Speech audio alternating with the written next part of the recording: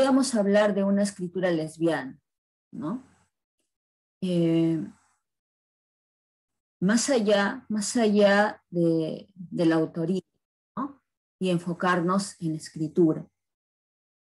Pienso, pienso que esto puede tener que ver, uno, eh, por las dos partes del texto literario, ¿no? Que son fundamentales, que son eh, el fondo y la forma, como eh, normalmente se le conoce, ¿no? o, también historia y discurso, ¿no? empleando ya categorías literarias. Eh, por un lado, podemos tener en las historias ¿no? personajes que tengan elementos lesbianos, ¿no? quizá deseos lesbianos, ya sea por la culpa, por el temor, por el... o, también eh, por una especie de deseo sumamente manifiesto, ¿no? Pero por otro lado también podemos tener eh, a nivel del discurso, ¿no? También un gesto transgresor con respecto al ser lesbiano, ¿no? Y bueno, mi idea es presentarles eh, en esta tarde diferentes autoras que de algún modo nos presentan diferentes visiones de la escritura lesbiana. Eh, como les decía, la cuestión de la autora, en este caso me parece más problemático atender y, además me parece mucho más importante eh, eh, conocer su escritura, ¿no? Conocerlas a partir de su escritura.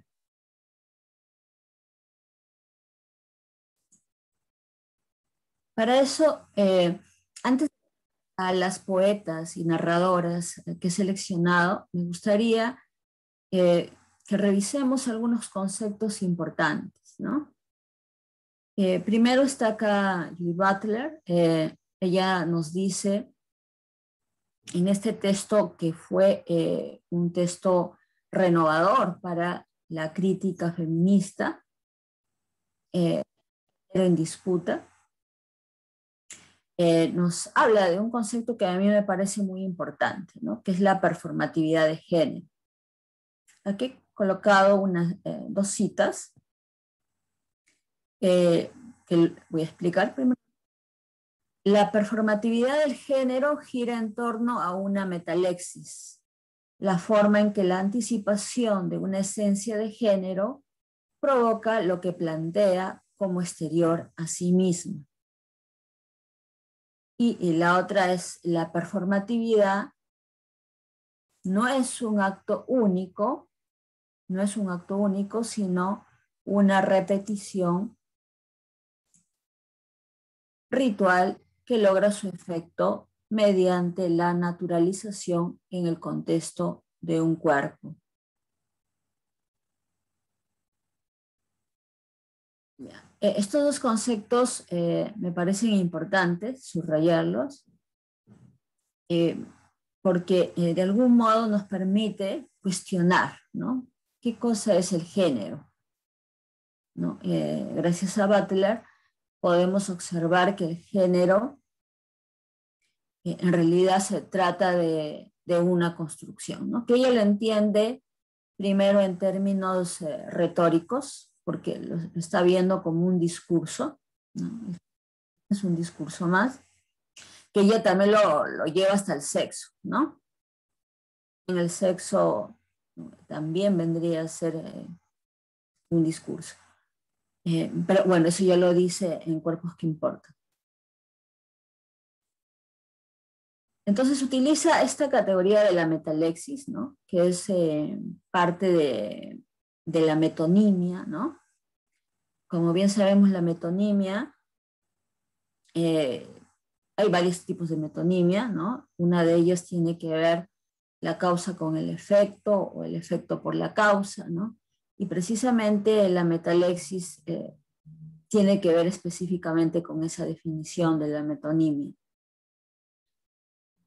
Por eso Butler dice ¿no? que gira en torno a una metalexis. Una forma eh, que solo muestra las consecuencias, pero no la causa eh, de ese discurso. De algún modo, eh, parece que llegamos a un mundo que solo hay eh, hombres y mujeres, ¿no? Niños y niñas.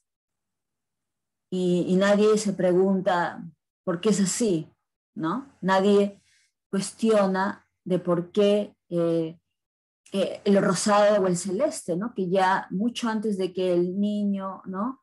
O niña llegue a este mundo, ya, ya se le está otorgando, ¿no? Este género, mediante el color eh, de la indumentaria ¿no? que va, va, a tener. Pero nadie se pregunta por qué es así. Y es precisamente porque este discurso, por su carácter, eh, como dice acá Butler, repetitivo y, además como un ritual, eh, nadie cuestiona porque constantemente se está repitiendo, ¿no? Eh, años tras años, siglo tras siglo, generación tras generación, ¿no? Los mismos gestos, las mismas conductas, las, mismas costumbres. Entonces, eh, ¿para qué preguntarse sobre eso, no? Y, precisamente Butler lo llama, ¿no? Performativa de género, eso, ¿no? Porque no hay, eh, no hay una, no hay un cuestionamiento, ¿no? Acerca de de por qué existen, ¿no? El género masculino, el género femenino, ¿no? Y Butler, precisamente con este concepto, nos permite cuestionar el género y preguntarnos, ¿no? Entonces, ¿cuál es el origen de ese discurso, ¿no? ¿Dónde, dónde se creó, ¿no? ¿En qué momento la sociedad comenzó a dividirse, ¿no? De ese modo. Ella propone en otros artículos, ¿no? Eh, ejemplos eh, bastante interesantes, ¿no? ¿Y por qué no la sociedad no, no se divide, por ejemplo, por la forma de, cómo termina, ¿no? La oreja. Porque tenemos diferentes terminaciones, ¿no? Entonces, eh, pone, por ejemplo, ¿no? Eso, hiperboliza la diferencia, ¿no? Que existe entre, eh, entre géneros para mostrar que puede existir otras diferencias, ¿no? Y que el mundo se puede dividir de otro modo también. Eh, eh, de Butler es eh, la pérdida de las normas de género, tendría el efecto de hacer proliferar diversas configuraciones de género desestabilizar la identidad sustantiva y privar a las narraciones naturalizadoras de la heterosexualidad obligatoria de sus protagonistas centrales, hombre y mujer. Cita em, refuerza la idea eh, que estaba mencionando anteriormente. Eh, si nosotros cuestionamos estas normas de género, al final lo que va a hacer es desestabilizar, ¿no? Cualquier identidad que se cree fija, ¿no? Resquebrajar el edificio heterosexual. Y, precisamente ir en contra, ¿no? De esa denominación, ¿no? De masculino, femenino, hombre, mujer, ¿no? Varón, mujer.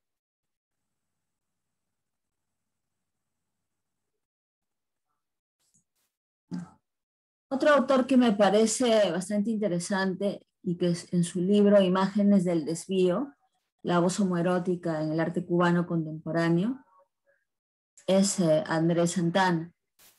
Eh, también me parece importante señalarlo, su aporte, porque tiene que ver con la pregunta que planteé al inicio, ¿no? acerca de la escritura lesbiana. Bueno, aquí él, de manera general, del homoerotismo, ¿no?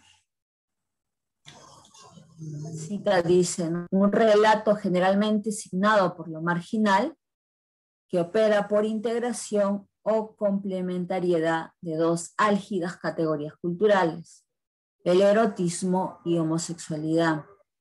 El prefijo homo remite por convención cultural a la homosexualidad, de lo que se deduce que el homoerotismo comporta, registra o sugiere las aproximaciones eróticas o del tipo que sea entre sujetos de un mismo sexo. Entonces, el ¿no? ¿Qué es el homoerotismo?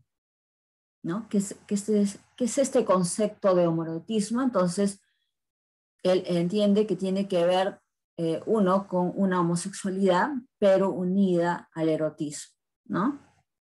A un deseo entre eh, sujetos de un mismo sexo. Por un lado, eh, deduce eso. Por otro lado, nos dice,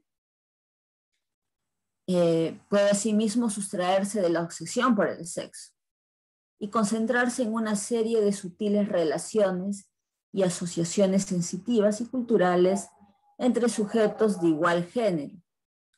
Oh, y hay aquí una de sus regularidades más interesantes, incursionar en los procesos de formación de las identidades sexuales, las marcas de género y la articulación o desmontaje de la propia noción del cuerpo, en tanto material susceptible que deja ver las parcelaciones y sistemas ideológicos del poder.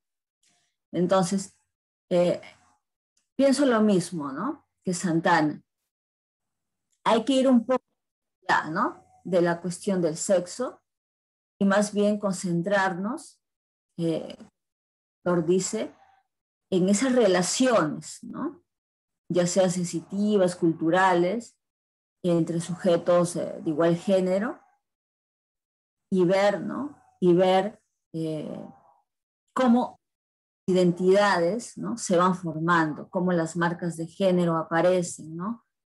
para a su vez comenzar a desmontarlas ¿no?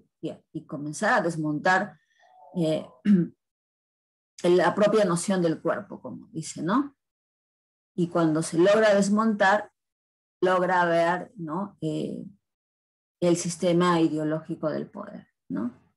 Es, me parece que es, en otras palabras, lo que expresa Butler, ¿no? hay que observar, ¿no? Más allá si se trata de, de, la homosexualidad de forma general, ¿no? Nosotros podríamos traer a colación al tema que nos convoca hoy y decir, más allá del, del lesbianismo de las autoras, como les mencionaba al inicio, lo más interesante es ver en sus textos, ¿no? Eh, es cómo, cómo, ocurre, ¿no? Cómo se conforman las identidades, ¿no? Si, si se desarticula esa identidad eh, tan añorada de la heterosexualidad, ¿no? De varón y mujer, si se desmonta esas figuras, ¿no? Del hombre y la mujer, ¿no? Tan fijas, tan eh, casilleros, ¿no? Tan tan, eh, tan fijos, tan inamovibles, ¿no? Que a, ¿no? Eh, eh, es condenado, ¿no? Es condenado. entonces, por eso me parece importante subrayar lo que dice Santana, porque a él eso, ¿no? Si en realidad es importante hablar, ¿no?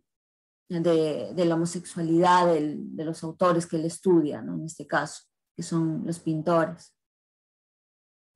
Eh, y, más bien, me parece más importante, dice Santana, eh, estudiar sus pinturas en sí, ¿no? su trabajo artístico, porque ahí es donde voy a poder ¿no? Eh, ver precisamente las ideologías ¿no? que están primando. comparto también eh, lo dicho por Santana. Otra propuesta que me parece interesante es la de Silvia Moyoy, eh, que en su libro Poses de fin de siglo, Desbordes del género en la modernidad, em, trabaja un concepto que a mí me mencionarlo con respecto a la literaria en sí, ¿no? El concepto de pose. Bueno, ella en ese libro eh, estudia a otros ¿no? Estudia eh, a Rubén Darío, por ejemplo, ¿no? A Martí, inicia, inicia su libro eh, eh, estudiando no la poesía específicamente de Darío, sino sus publicaciones ¿no? que hacía en, los diarios, ¿no? sus crónicas. Y hay una publicación en la que habla de, de Oscar Wilde, ¿no? Y se refiere a, la muerte de Oscar Wilde. Y, bueno, eh, Silvia Moyoy ahí analiza, analiza precisamente, ¿no? Eh, a propósito del, del, texto de Darío, analiza la figura de, de Wilde, pero también analiza la lectura que tiene Darío de Wilde, ¿no? Que, me parece bien interesante. Pero bueno, lo que, yo, ah, lo que me interesa para esta clase, ¿no? Para esta charla, eh, específicamente, es el concepto de pose, ¿no? Que la autora propone. Es, eh, es bastante interesante porque no es el concepto usual, ¿no? Cuando nosotros pensamos en pose, pensamos eh, más bien en, una máscara vacua, ¿no? Vacía, que no significa nada, ¿no? Hasta una mentira, ¿no? Pero eh, Silvia eh, eh, le otorga otro significado que paso a explicar. A ver, primero leo la cita, el extracto.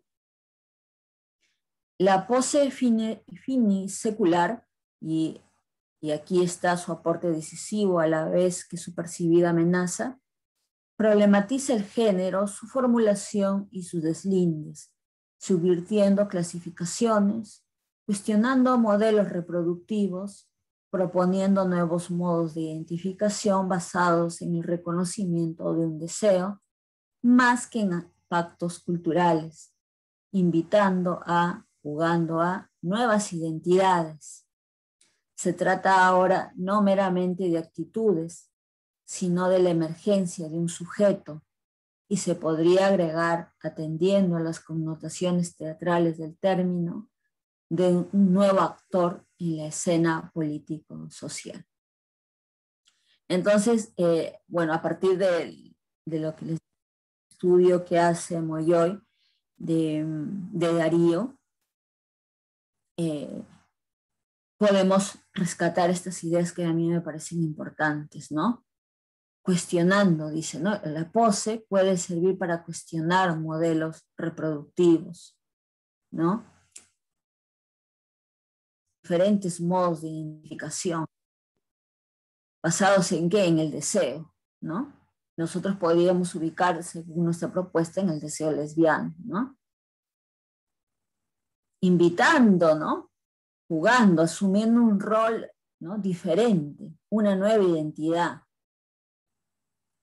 Y lo cual nos permite ya pensar ¿no? en un nuevo actor ¿no? dentro de la literatura. Y por eso el título de nuestra charla, ¿no? literatura lésbica, ¿no? literatura lesbiana. Ya, ya sin temor ¿no? de enunciarlo, de decirlo. Eh, ¿Por qué? Porque es necesario visibilizar ¿no? que hay diferentes perspectivas sobre eh, eh, la realidad ¿no? a partir de la literatura. Que la literatura también es posible ¿no? que pueda representar nuevas identidades. ¿no? no reflejarlas, ¿no? sino representar nuevas identidades. Obviamente también la literatura puede representar el miedo, el temor, la culpa, ¿no? Pero también puede representar la esperanza, ¿no? El cambio.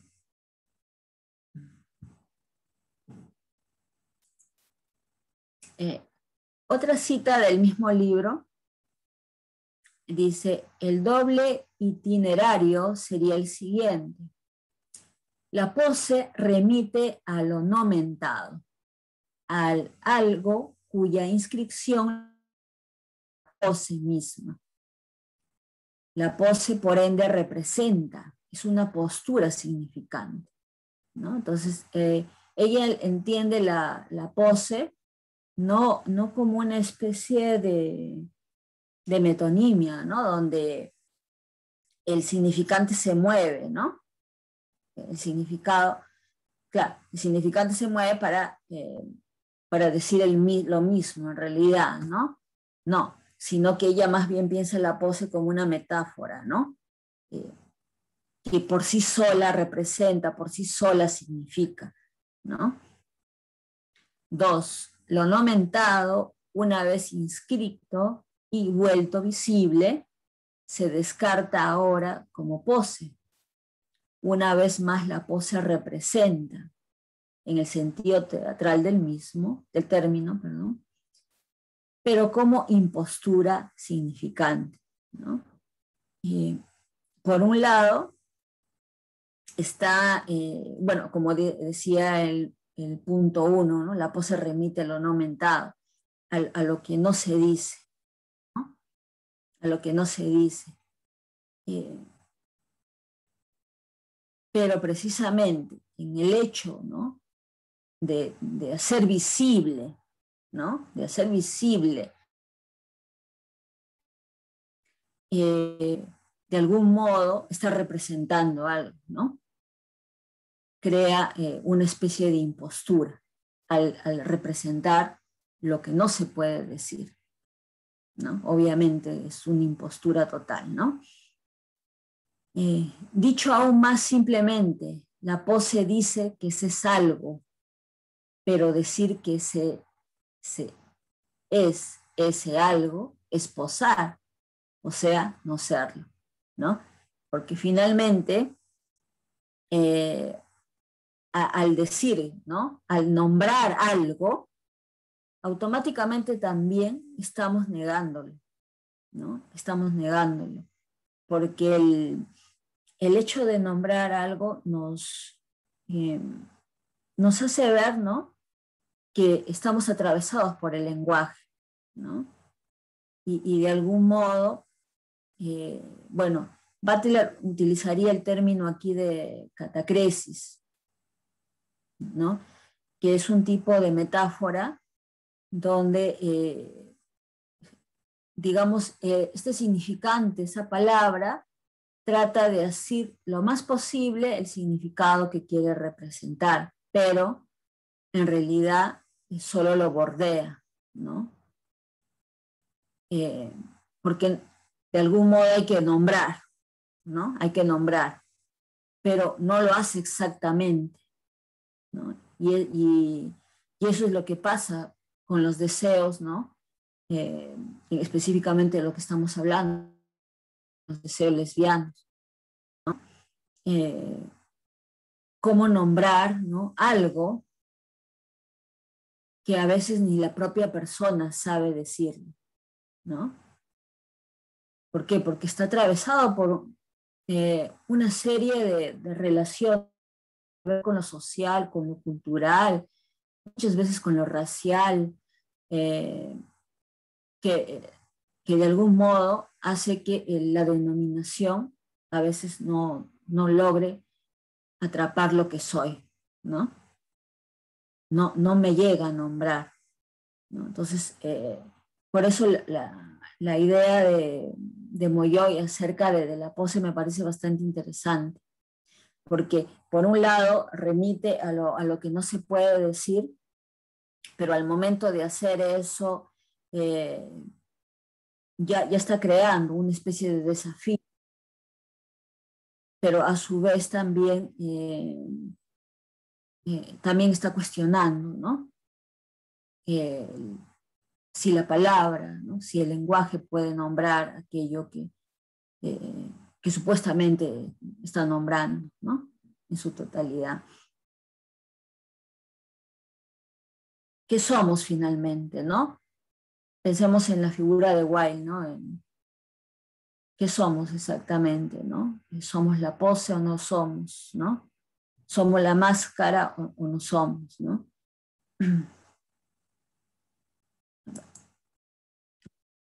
Ahora sí, eh, pasemos a, ya a trabajar eh, a las autoras peruanas.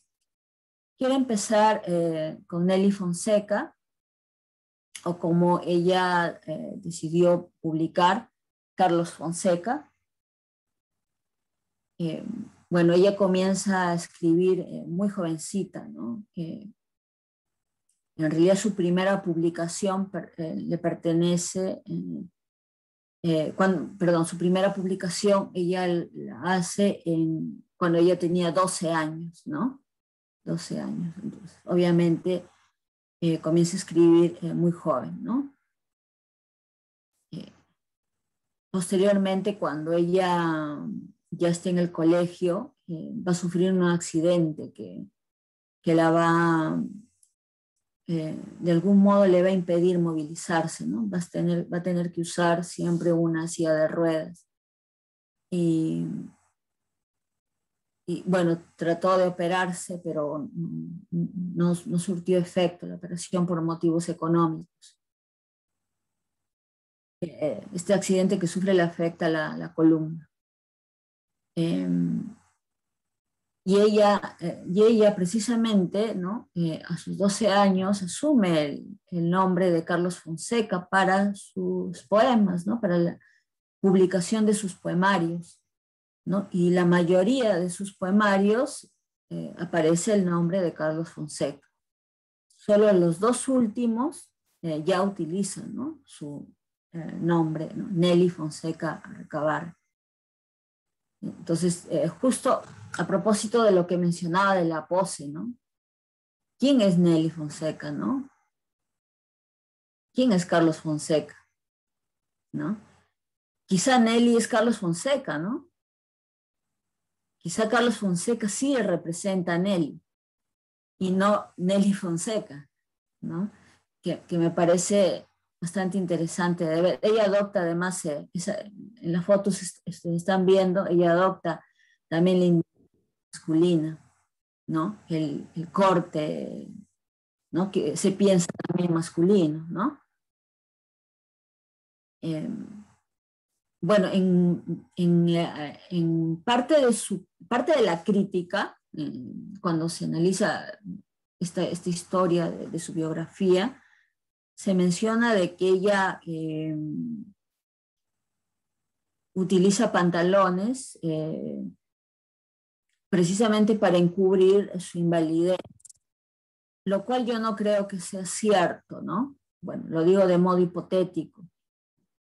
Más bien, yo creo que ella eh, estaba tratando de mostrar ¿no? otras formas de deseo, porque el, pantalón no necesariamente ocultaba su invalidez, ¿no? eso me, parece un tanto absurdo pensar. Eh, me parece, me parece interesante observar más bien esto que ella hace, ¿no? que performatiza con su cuerpo mismo, verlo en su poesía. Aquí he colocado eh, un poema, bueno, dos poemas eh, de Rosas Matinales, que corresponden precisamente a los dos primeros poemas de este poemario, ¿no? que como te decía se publica en 1934, cuando ella tenía 12 años. ¿no? Eh, los dos poemas que les voy a presentar son sonetos y, bueno, les leo el primero, ¿no? Se llama Prematuro. Te siento corazón viejo y cansado y apenas cuentas doce primaveras. que serás corazón cuando te mueras por el fiero pesar atormentado? Tu voluntaria soledad te ha dado madurez prematura. Y aunque quieras, ventura no tendrás, ni otras quimeras, pues te has hecho tú mismo desgraciado. Por el soplo intensísimo y helado de muy hondos pesares combatida, la antorcha de tu fe ya se ha apagado, y cuando sufras crueles desengaños y entres al torbellino de la vida, ¿Cuál será la vejez de tus 20 años? Eh, bueno, aquí eh, eh, el poema lo he copiado tal como figura en la primera edición. por eso la tilde, por eso también estos cuatro puntos, ¿no? Y que así figuran ¿no? en la edición del 34. Em, es algo muy interesante lo que hace eh, aquí em, Nelly Fonseca, ¿no? Primero, que en el poema no podemos notar una marca de género, ¿no? puede, puede ser un, un hombre o una mujer, ¿no? No hay una marca de género, no hay un él, no hay una ella, ¿no? Porque está hablando del yo, ¿no? Eh, y más bien aquí lo que cobra fuerza es uno, eh, su edad, ¿no? 12 primaveras, pero, pero el problema que ella está planteando aquí tiene que ver más eh, con una cuestión existencial, ¿no? Está hablando de la muerte, ¿no? De una muerte que ya ha comenzado a sus 12 primaveras, ¿no? Su corazón ya está viejo y cansado, ¿no? Es increíble, ¿no? Que alguien tan joven eh, ya sienta los pesares ¿no? de la vida y, muestre más bien una mirada totalmente desdichada, triste ¿no? de la realidad. Entonces se pregunta, ¿no? la voz poética, ¿qué va a pasar cuando tenga 20 años, ¿no? Si ya a los 12 años ya, ya estoy viejo, ¿no? Y estoy, el corazón está viejo y cansado, ¿no? ¿Por qué? Porque, como dice el título del poema, de algún modo se siente ¿no? prematuro, ¿no? Tiene una madurez prematura, ha crecido muy rápidamente. Entonces, eh, ya es alguien ¿no? que se observa más bien a partir de, del, del símbolo de la muerte, ¿no? Y, ya muchas cosas ¿no? que ella debería ver con luz están apagados, ¿no? Y, lo que debería ser calor está helado, ¿no? Imágenes todos que tienen que ver con la muerte, ¿no? Eh, es interesante esto, que podemos unir con eh, el siguiente poema del mismo poemario que se llama también es un soneto. Arrojaste el río, perdón, arrojaste del río a la corriente, con las pupilas irradiando enojos, las cartas, versos y claveles rojos, que prendas fueron de mi amor ardiente. Todo el dolor de mi pasión latente, trocado en llanto, se agolpó a mis ojos, pero ceder no quise a tus antojos, y sonreí tranquilo, indiferente. Te alejaste después, serena, altiva, solo cuando un recodo del sendero te ocultó a mi mirada inquisitiva. Dominó la pasión mi orgullo de hombre, venció el dolor mi voluntad de acero, y entre sollozos balbucié tu nombre. ¿No? Aquí en este poema, en este soneto y en muchos, bueno, en todos los sonetos en realidad, eh, si es que se borra la marca de género, la que aparece, aparte de esa, es eh, la, del, la del hombre, ¿no? Se asume como Carlos Fonseca. Y, y, este poema, este soneto está construido a la manera, ¿no? De la tradición masculina que todas, ¿no? Y todos, eh, todos hemos leído, ¿no? Eh, nuestro aprendizaje de la literatura, ¿no? Viene de la literatura canónica, ¿no? Es el modo de escribir de los hombres, ¿no? En el colegio no nos enseñan, ¿no? Eh, a las autoras, ¿no? Más antiguas, ¿no? como Sor Juan Inés de la Cruz, por ejemplo, ¿no? Aparece ahí nada más como un nombre y ya, ¿no? y, se la pasan de frente. Eh, solo por mencionar un nombre, ¿no? Entonces, eh, la manera de, construir la poesía desde la antigüedad ha pasado a ser desde la manera masculina. Si pensamos, por ejemplo, en, en la Edad Media, ¿no? en los trovadores, a pesar que sí había trovadorices, ¿no? O trovadoras, pero de ellas eh, hay muy pocos, bien escaso el material. En cambio, lo que, lo que sí abunda es el de, el de los trovadores. Bueno, pero también en ambos casos no es abundante, eso sí hay que señalarlo, ¿no? Son fragmentos muchas veces, eh, pero igual, en esos fragmentos el que domina más es la voz eh, masculina. Eh, bueno, al menos eso nos enseñan en el colegio. Luego ya en la universidad nosotros podemos aprender que, que en la Edad Media también existían ¿no? las voces femeninas, ¿no? como por ejemplo las jarchas. ¿no? Las jarchas tienen voces femeninas, pero eso, eso no, se, no se nombra en el colegio y de, de quiénes, si eran hombres o mujeres los que componían esas jarchas con voces femeninas. ¿no? Pero lo que nos hemos aprendido acerca de, eh, de la poesía trovadoresca y que luego asimila eh, muy bien eh, los poetas del Renacimiento, ¿no? Que son Petrarca, Alighieri, ¿no? Por ejemplo, ¿no? Francesco Petrarca, Dante Alighieri, em, y que la, la, poesía moderna va a beber de ellos, ¿no?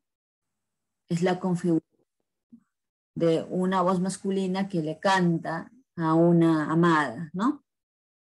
En la, en la poesía trovadoresca todavía tenía eh, cuestionadores ¿no? del matrimonio, por ejemplo.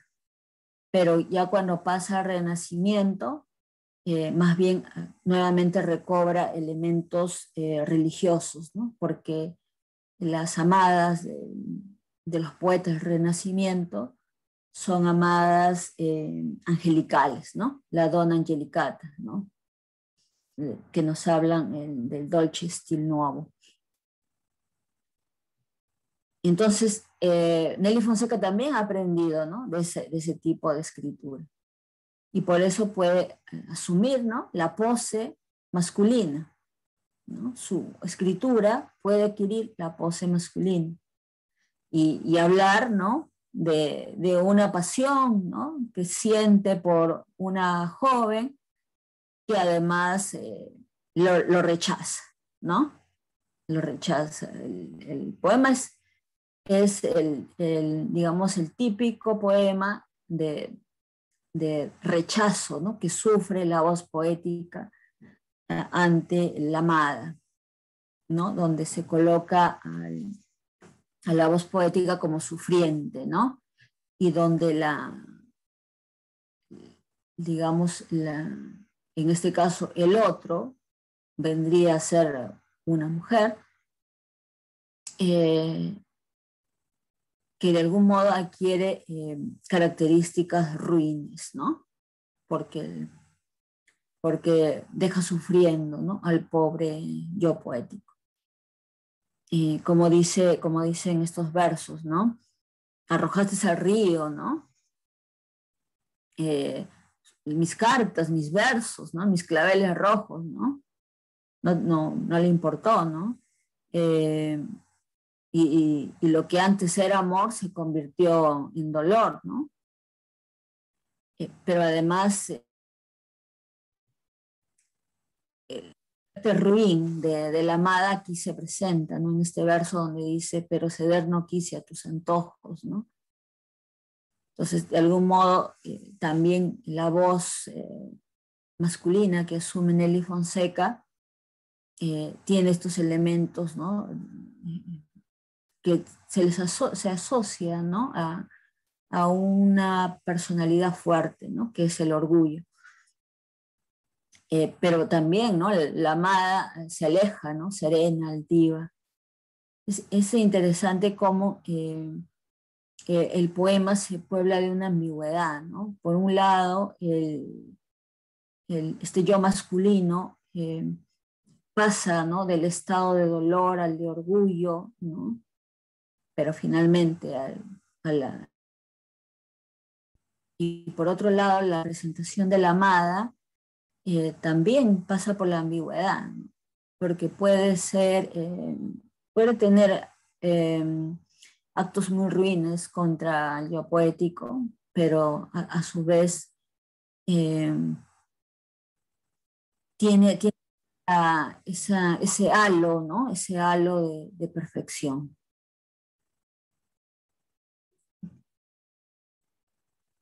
Bueno, y hay, y hay, varios, hay varios temas aquí que nos muestran eh, la presencia ¿no? de, una voz masculina, aparte de decir, eh, aparte de decir mi orgullo de hombre, ¿no? Hay otros temas que nos muestran claramente eh, que, es, que sí se trata de una voz masculina, ¿no? por ejemplo, lo de la mirada inquisitiva, ¿no? Esa mirada penetrante, ¿no?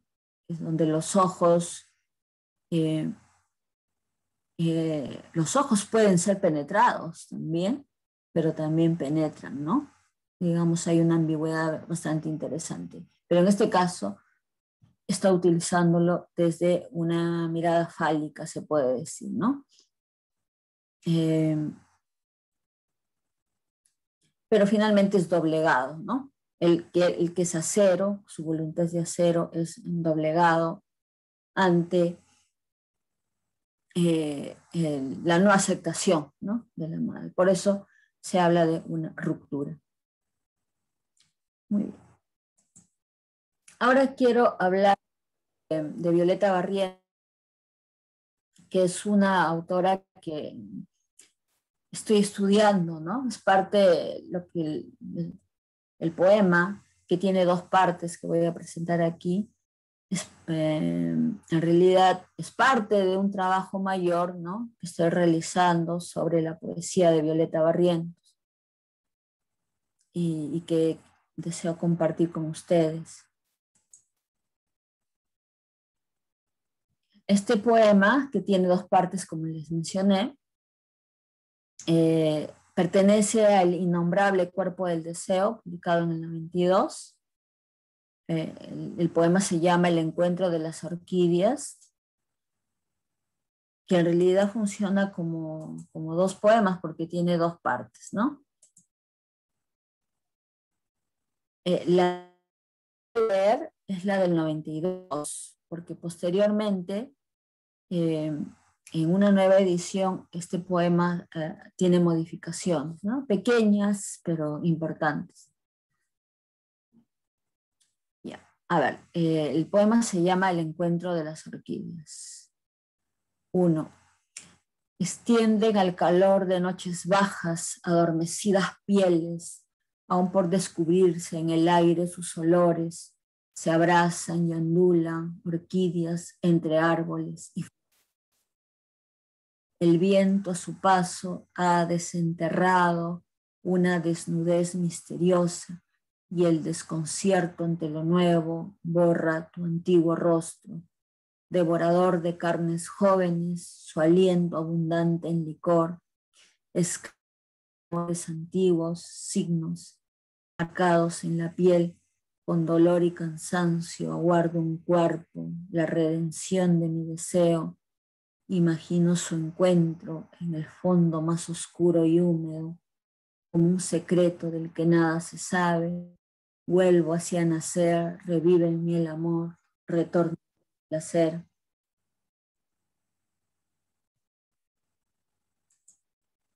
Oigo los cantos de coral repetirse a cada ola que cae y se levanta. Mi oído entonces débil ahogaba mi razón.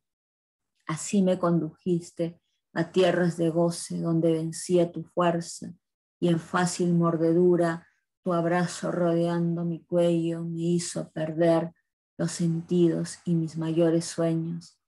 ¿A dónde orientar mi deseo?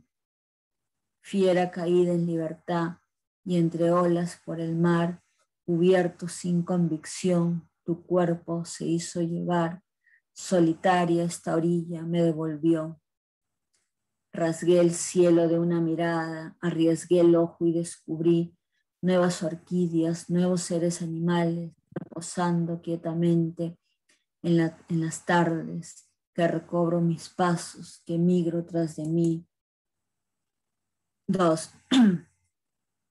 Duros fueron mis días de imprevistos ayunos y angustiosos trabajos, esa violencia del pan dulce sobre los labios amargos, ensortijados bellos engalan mis dedos y creo desvariar inventándolo nunca visto, pero amo esa llegada, a veces hombre, otras mujer, su aguijón ampollando mi alma y el deseo en sus labios, acercándose al sexo como humedecida esponja, calmando su respiración.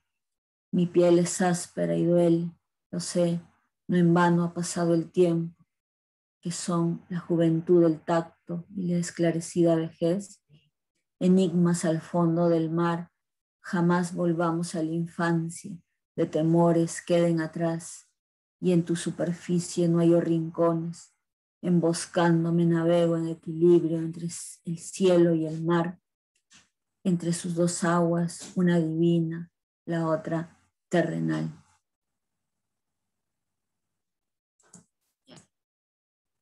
Eh, bueno, esto también es solo un ejemplo eh, de la propuesta de, Violeta Barrientos, eh, que podemos encontrar aquí ya una poesía que sí es capaz de nombrar ¿no? el deseo lesbiano. obviamente muestra las vicisitudes, ¿no? un cierto temor eh, en todo caso muestra el cambio, ¿no? De pasar de ese temor a, eh, a un presente un tanto más placentero. Y gracias precisamente a la aceptación del deseo.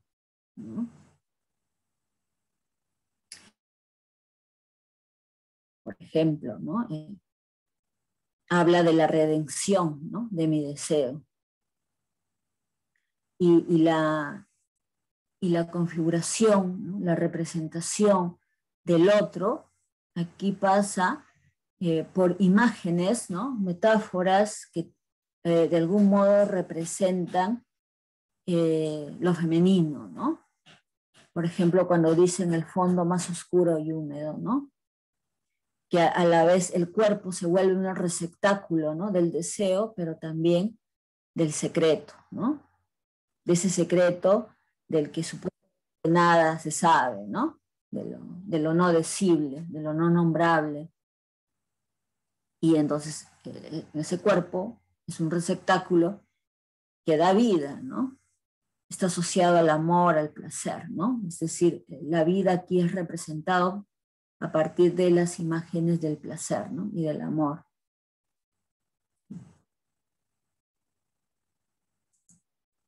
Bueno, antes, antes también eh, se menciona, se menciona eh, estas orquídeas, ¿no? Que son representaciones de, eh, de por sí también, ¿no? E importantes porque juegan con la ambigüedad, ¿no? del hecho de, de, poseer órganos, ¿no?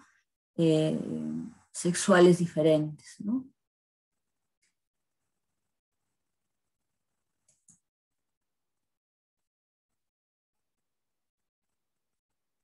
Y, bueno, muestra, como les decía, el cambio, ¿no? Dice, arriesgué el ojo y nuevas orquídeas, ¿no?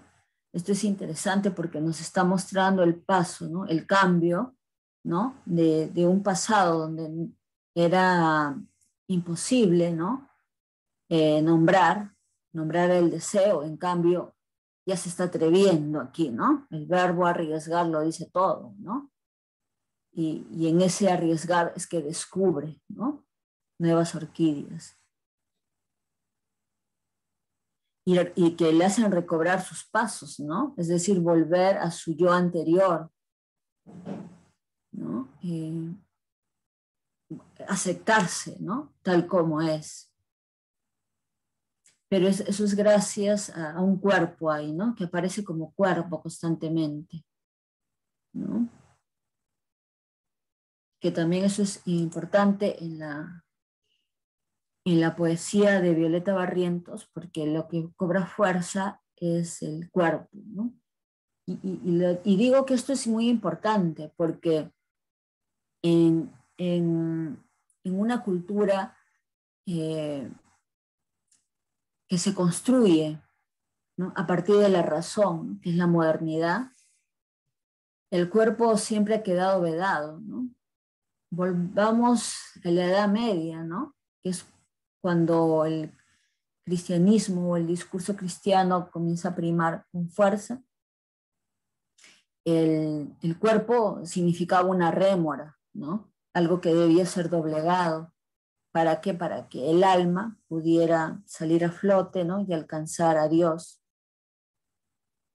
Eh, pero luego eh, eh, Descartes aparece y dice, ¿no? Pienso, luego existo. Y de pronto el alma ¿no? parece cambiar de posición y ahora ya se habla de mente, de razón pero en, ambos discursos el cuerpo siempre está vedado, ¿no? Siempre está aniquilado, eliminado, ¿no? Eh, y, por eso la propuesta de Violeta es interesante porque nos está mostrando el cuerpo, ¿no? Nos está hablando desde el cuerpo, desde el deseo, ¿no? Aquello que está reprimido. El cuerpo es el gran perdedor de siempre, ¿no? Siempre se lo reprime, como si eh, tuviera ya una carga negativa, ¿no? consigo. Y bueno, en esta segunda parte, el, poema, las metáforas se tornan también mucho más interesantes em, porque muestran, ¿no? De que el género sería algo ambiguo, ¿no? Y, y eso también me parece un aporte muy importante de Violeta, porque está desarticulando, está desmontando, ¿no? la performatividad de género. Y, nos está diciendo de que no, no, no es que la sea varón, mujer, masculino, femenino, o heterosexual, homosexual, ¿no?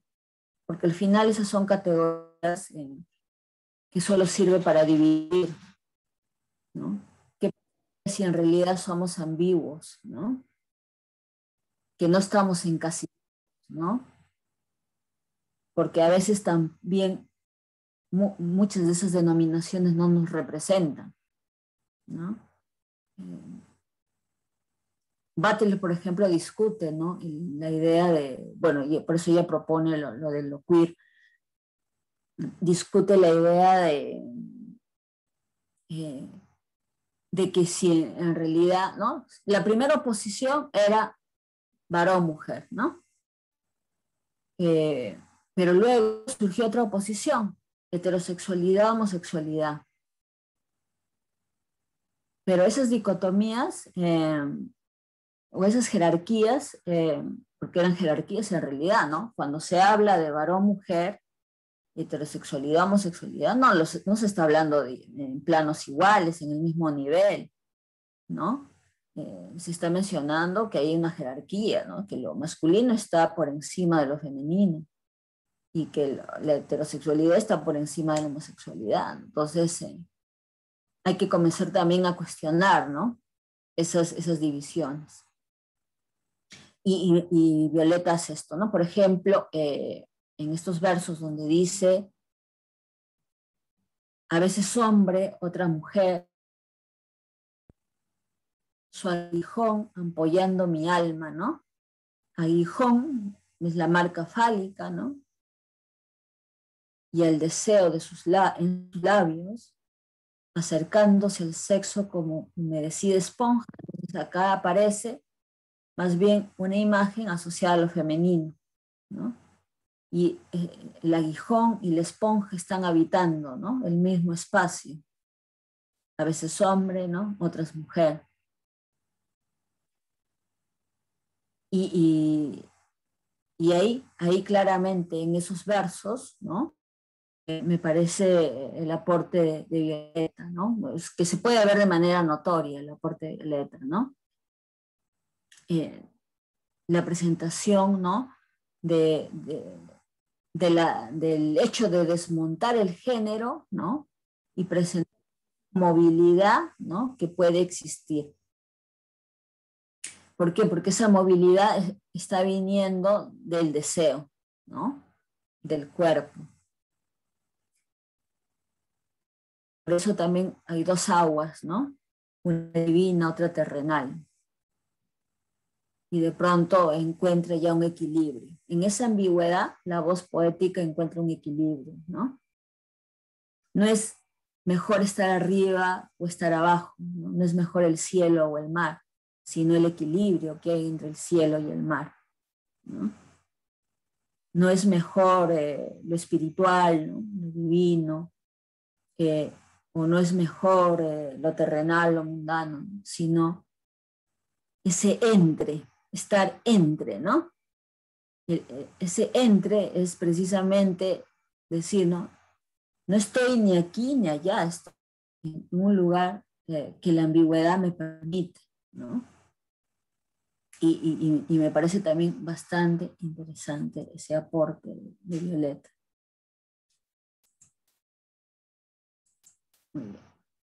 Ah, bueno, para, para, terminar, aquí eh, en estos últimos versos, dice, ¿no? Y hembra, leo todo. Aprisa el pulso me desborda, me golpea fraguándome, no sé si para bien o para mal, y es tanta la fuerza en tus manos, cubriendo frágiles órganos, fugaces vientos que arrecian, silbidos ondulantes del placer, que un día abriré mi cuerpo para nunca volverlo a cerrar y agitaré en lo alto mi cabeza para siempre perder la razón. Abandono mi cuerpo a cambio del tuyo, de igual igual confusión de huesos que abrazados llenarán sus vacíos en formas caprichosas de tibia cera blanca, en mágico ritual, donde las sombras en pleno reunidas ofrezcan la noche, y hembra se convierte en hombre y hombre amante en mujer. Ahí está, ¿no? El remate muestra eh, lo que antes se había presentado como metáfora y, y la esponja. Aquí, aquí ya es mucho más claro, ¿no? está hablando de un devenir, ¿no? En términos de, de Lucy Guattari, ¿no? Eh, vendría a ser un devenir, ¿no? ¿no? No somos identidades fijas, ¿no? Podemos devenir en otras. La hembra puede devenir en hombre, el hombre puede devenir en mujer, ¿no? Y eso es gracias al amor, y eso es gracias al deseo, ¿no? me parece es importante decirlo eso, decir eso. Ahora sí, eh, pasemos a Carmen Oye.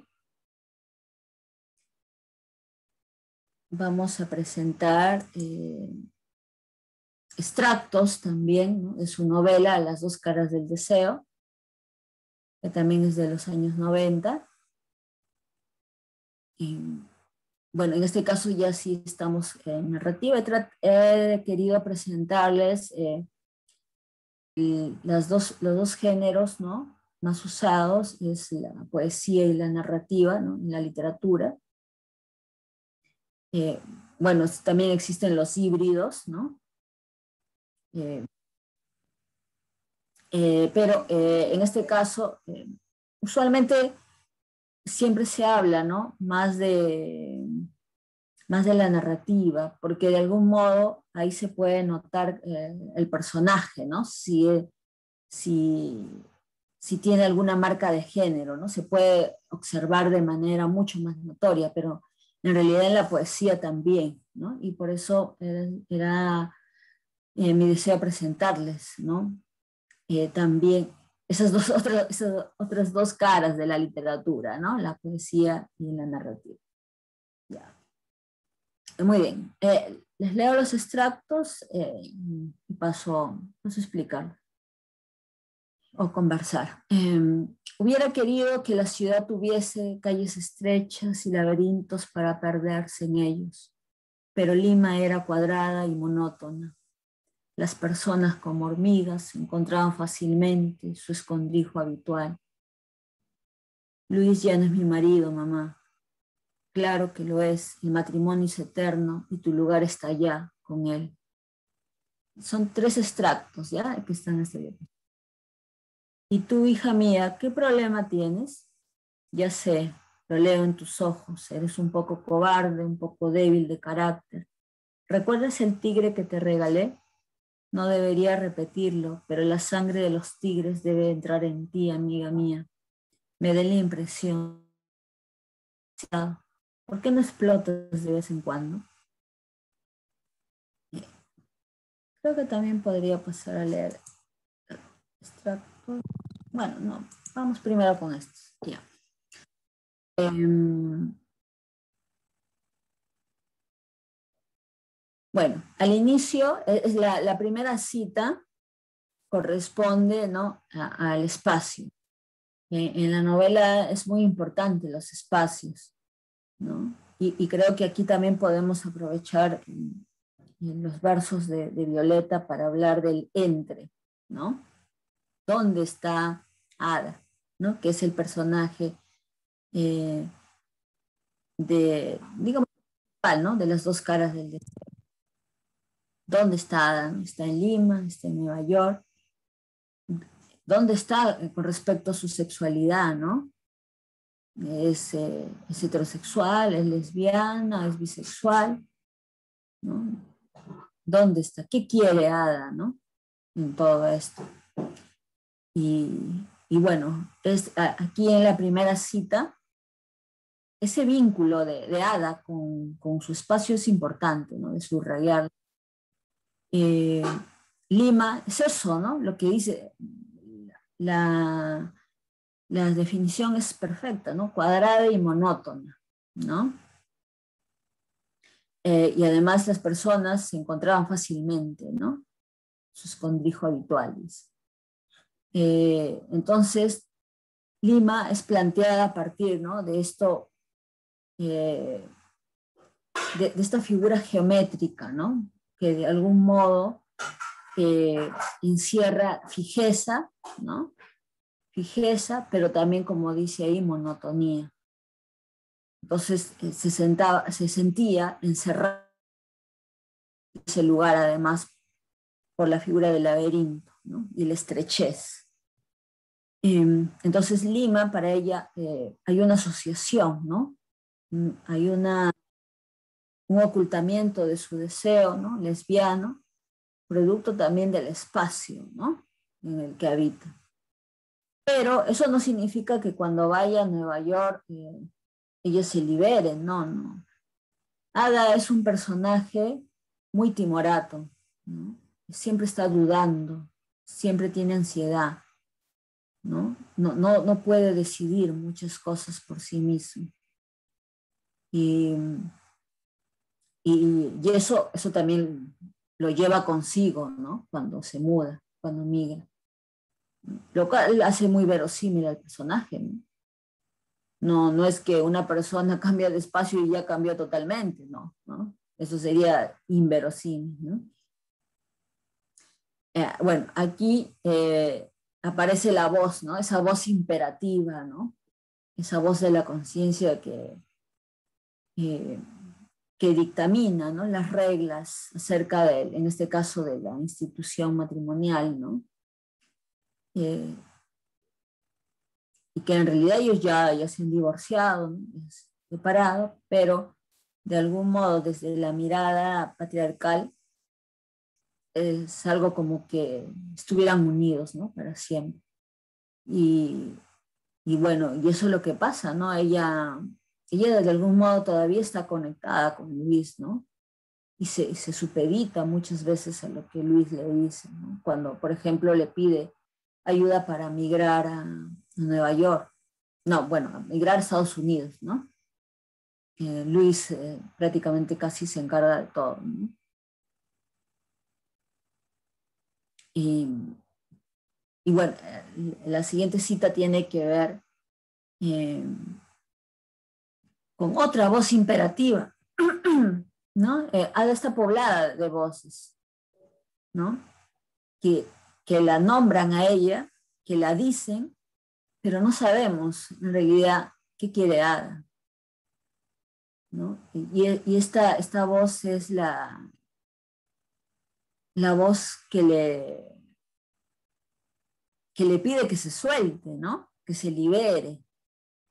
Eh, lo que pasa es de que Ada en el, en el pasado había ya tenido una relación lesbiana con Marta, pero que eh, ya no veía tiempo. Entonces cuando eh, ella emigra, la encuentra nuevamente y encuentra a Marta con, con un amante ¿no?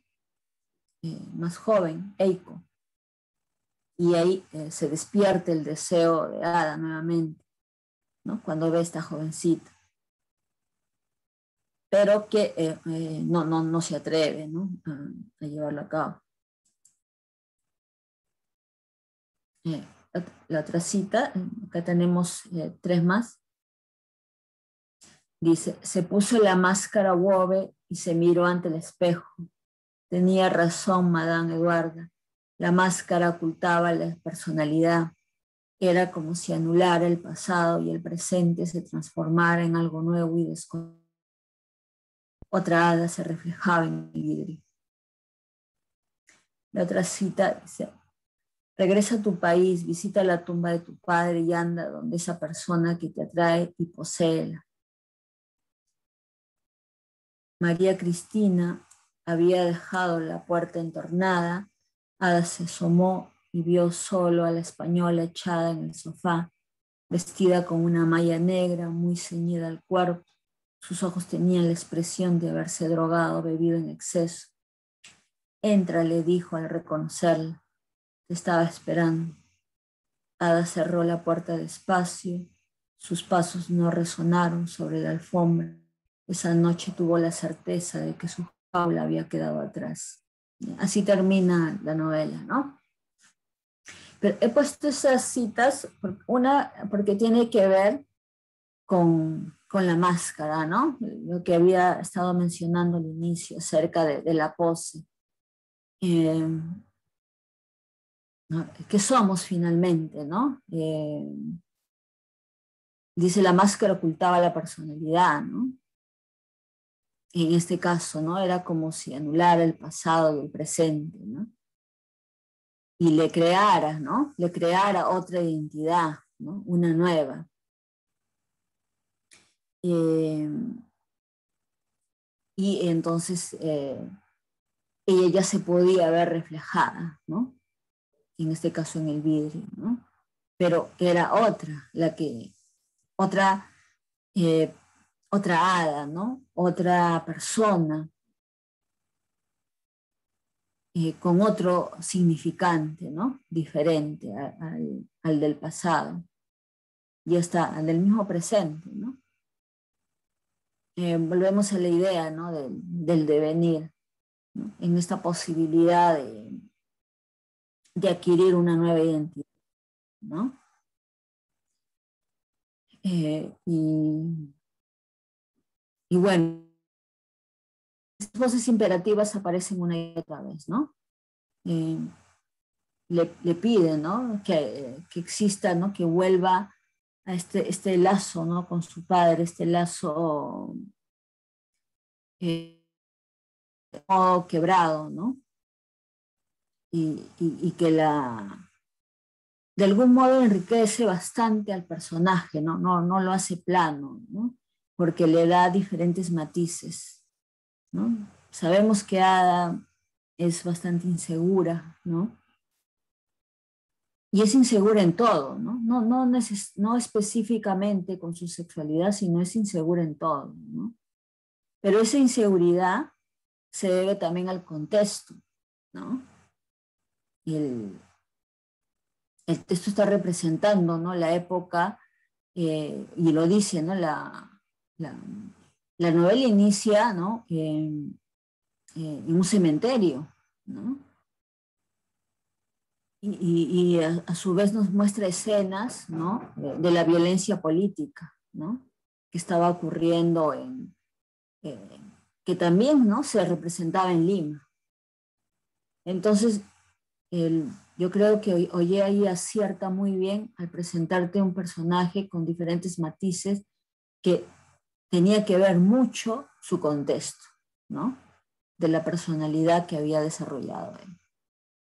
Porque también, ¿no? Eh, el contexto eh, es una forma también, ¿no? De modificar las conductas de, no de, de formarlas, ¿no? De formar las conductas.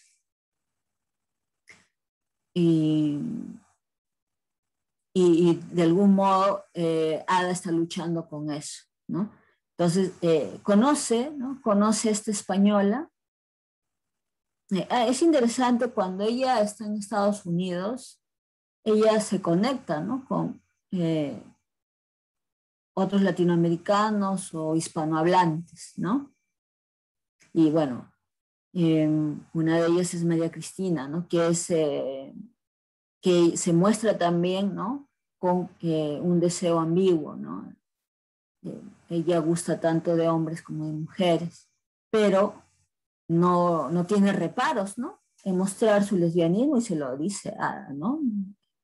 Y le pide a Ada acostarse con ella.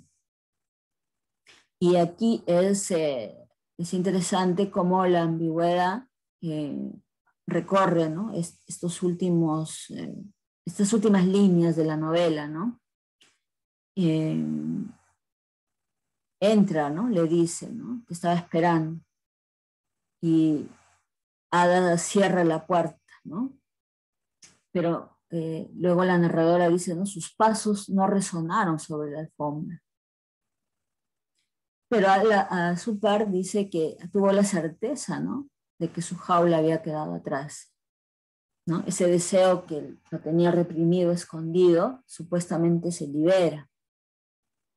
¿No? Eh, al menos eso nos deja entrever ¿no? la narradora. Pero antes ha dicho ¿no? que sus pasos no resonaron, es como si desapareciera. ¿no? Eh, puede ser una metáfora de, de, someterse al deseo ¿no? y, desaparecer precisamente en el deseo. Pero antes habla de, la puerta ¿no? que se está cerrando y, y, termina en una paradoja la novela, ¿no? Porque ¿cómo se puede eh, cierra la puerta, ¿no? La puerta de por sí también es una metáfora de la ambigüedad, ¿no? porque por una puerta yo puedo entrar, eh, eh, perdón, puedo salir, pero también puedo entrar, ¿no? Una puerta significa una salida a un exterior, pero también significa un encierro, ¿no? Eh, y, creo que es perfecta la metáfora, ¿no? Si, se quiere representar la, la ambigüedad ¿no? del personaje de Ada porque en realidad nunca llegamos a desentrañar qué es Ada, ¿no? ¿Qué quiere Ada? Y, eso me parece, me parece interesante. Eh, ¿Por qué? Porque nos está diciendo que no estamos ante un personaje limitado, ¿no? Fijo. Y que hay algo que nos esconde, ¿no? que no nos deja penetrar. Y, y por eso Ada me parece importante. Ahora, eso se puede leer como culpa, miedo, ¿no? Eh, eh, o closet, ¿no? Estar eh, el miedo a salir del closet, ¿no? El miedo a enfrentar la, reprobación, ¿no? De los otros, de esas voces imperativas, ¿no? Que por un lado la jalonean, de un lado a otro. y entonces ella no les permite, ¿no? Entrar del todo lo cual me parece que hace muy, muy verosímil el personaje. Y bueno, hay que tener en cuenta el contexto también.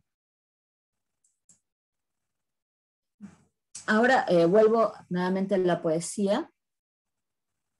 Eh, y también es una autora que yo estoy trabajando también actualmente junto a Violeta Barrientos, ¿no? Eh, es Esther Castañeda.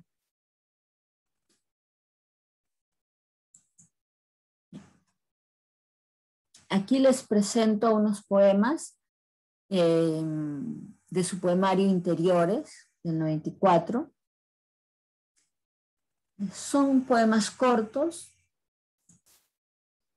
son poemas cortos que de algún modo también ejemplifican bien eh, lo, que quiero proponer, ¿no? Identidad. Bajo febrero sofoca mujer, Esther, repites, Esther, incrédula. Y luego Lima. Lima cubre de elegías este espejismo de puerto lejano, con el saco al viento, tu cuerpo oscila como ícono envuelto en seda. Retiro las cortinas y me hundo en el desnudo, en el placer de peinarnos bajo las aguas, vértigo familiar, las posibilidades se repiten como imágenes. He escogido también estos eh, poemas porque tienen que ver con el espacio y la identidad, ¿no? para establecer una intertextualidad con, lo que estamos trabajando. Eh, por un lado, eh, tenemos este poema Identidad, eh, que Esther utiliza ¿no? su propio nombre aquí. Se nota claramente que hay una necesidad de representar a la voz, ¿no? a la voz de la poeta. Y ella repite su nombre, ¿no? Y, lo dice, ¿no? Pero remata con una incredulidad ¿no? al respecto. ¿no? Eso me hizo pensar de que eh, Esther Castañeda aquí eh, está cuestionando ¿no? lo que les decía al inicio, ¿no? el lenguaje, el nombre. Si realmente ¿no? nuestros nombres nos nombran, ¿no? Si nuestros nombres nos dicen quiénes somos, ¿no? ¿No? Si, dice quién soy, si realmente lo hace así, ¿no? Entonces, ¿por qué tiene que repetir su nombre? Precisamente porque no la llega a nombrar del todo, ¿no? Quizá recuerden lo que les decía al inicio sobre la performatividad del género que funciona en la repetición, en la iteración, ¿no? Solo funciona así. Quizá repitiendo, entonces sí, ¿no? Logre una conformidad con mi nombre. Eh, pero no, él no, no lo logra, sigue incrédula, ¿no? No, el nombre no es suficiente, ¿no? Para decir quién soy.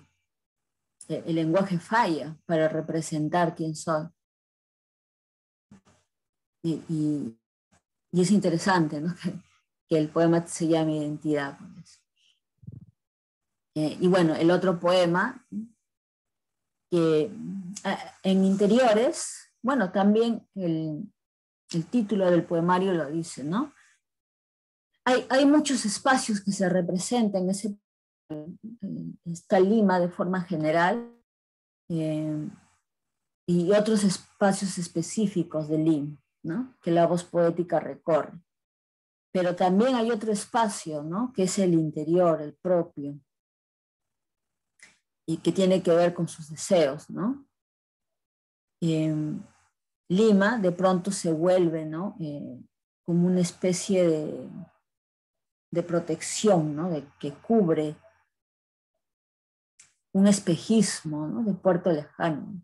Es interesante que el autor haya escogido lo del espejismo, porque, eh, bueno, este espejismo, ¿no? Del, ¿no? como una irrealidad, ¿no? Como algo que existe o no existe, ¿no? No, no tienes la certeza. Eh, y eh, en este caso se nombra al otro, ¿no? De manera totalmente eh, desgenerada, se puede decir, no, no sabemos quién es el otro, ¿no? Solo sabemos que tiene un al viento, ni que su cuerpo oscila como envuelto en seda, ¿no? Y, y, la voz poética retira, ¿no? Es, ese manto que le cubre y se hunde, ¿no? En, en, en, el desnudo, ¿no? Es el encuentro de los cuerpos, en el placer de peinarnos, ¿no? Bajo las aguas, ¿no? El, el, el mar, en este caso, está, ha hecho, se ha hecho referencia del puerto como un espejismo, porque al parecer eh, este deseo lesbiano también, ¿no? Tiene la marca del espejismo. Mm, y que se oculta, ¿no? Bajo el agua. Se oculta, podríamos, eh, si, si llevamos esta imagen al cuerpo femenino, ¿no? al líquido amniótico, ¿no? En el que estuvimos antes, ¿no? De, de llegar a esta realidad y en este caso son ¿no? Eh, estos dos cuerpos desnudos. ¿no? Vértigo familiar, las posibilidades se repiten con imagen. ¿no? Pero eh, este encuentro, ¿no? nuevamente vuelvo a la idea del espejismo, ¿no? no llega a tener cuerpo, ¿no? Eh, sino es más bien posibilidad, ¿no? Posibilidades no llega a ser algo concreto, ¿no? más parece un anhelo, lo cual es interesante de ver. Se trata de un deseo, ¿no? prohibido muchas veces. Ahora paso a hablar de Doris Moromisato, también eh, eh, con su poema el crepúsculo durará un instante, que está ah, publicado en el poemario Paisaje Terrestre del 2007. Un poemario muy hermoso, además, porque eh, hay un trabajo ¿no? con el objeto en sí, que es el libro, ¿no? donde eh, se ha utilizado material reciclable. Muy bien, les leo el poema. El crepúsculo durará un instante. El crepúsculo durará un, solo un instante. Las rojas volutas en las nubes perderán su encanto. El amarillo se volverá ceniza. Solo yo soy eterna. En nace y muere cuando nombro el universo. Soy una cáscara poblada de furia, de risa, pero una cáscara no más. Solo yo soy eterna y sin embargo muero en cuestión de tiempo pronostican. Mi rutina elemental no precisa siquiera de estas palabras. La rueda seguirá girando sin mí. La palabra crepúsculo es tan extensa y sin embargo dura solo un instante en mi boca. ¿Qué fui en estas tierras? Lima es una nave. A bordo sobrevivimos con la palabra vida y respiramos el mismo aire. Mi corazón late como todos los días, el corazón de quien me amó, de quien me jura amor eterno, también palpita en algún rincón de esta nave. Pero es la misma sangre, el mismo ir y volver por arterias y venas, por las mismas calles. ¿Por qué las hojas se desprenden? ¿Por qué abandonan la rama? ¿Por qué caen abatidas a la tierra? Ah, qué desperdicio. La suerte ya estaba echada. De pequeña nada encajaba en el mundo. No era como el rompecabezas. Todas las piezas tenían un lugar en el tablero, pero no todas teníamos un lugar en esta vida. En cuestión de tiempo pronostica, el crepúsculo durará solo un instante, un instante más. Ojalá uno más. Muy bien. Este, este, poema muy, muy hermoso de Doris Monomisato, cada vez que lo leo siempre me conmueve. Eh, nos muestra, ¿no? Nuevamente el espacio, ¿no? Aparece siempre ahí, ¿no? Eh, nombrada, ¿no?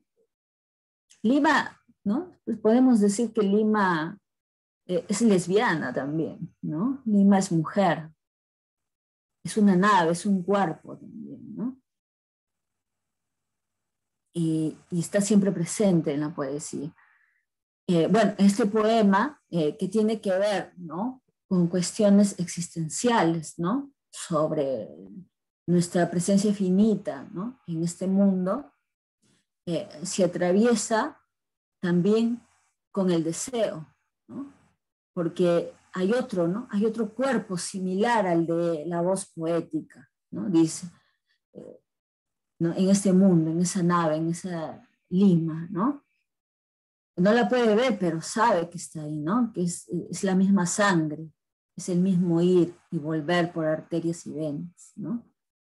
Por las mismas calles, ¿no? Es, es, alguien similar a ella, ¿no? Podríamos eh, utilizar la imagen eh, del espejo, ¿no? Del espejo, que representa muy bien eh, el deseo por lo igual, ¿no? Por el cuerpo. y ya al último, hasta el último, los, los últimos versos del poema, eh, vuelve a una cuestión que se puede notar ¿no? en, la poesía y en la narrativa de, este tipo. Es de que siempre hay un pasado ¿no? donde hay, mucha culpa, ¿no? mucho temor, eh, de que sentías que no había una explicación ¿no? de por qué eres así o eras así, ¿no? y ahí lo dice, ¿no? De pequeña nada encajaba en el mundo, ¿no? Eh, ¿no? De pronto la metáfora es muy hermosa, ¿no? Todos tienen su lugar, ¿no? En el tablero. Pero, ¿dónde está la voz poética, ¿no? Dentro de ese tablero. No, no, no encontraba una posición, ¿no? Pensé en el tablero de ajedrez, ¿no? ¿Cuál era? ¿El cuadro negro o el cuadro blanco? Pero no, no, no, se, no se podía incluir en ninguno de esos cuadros.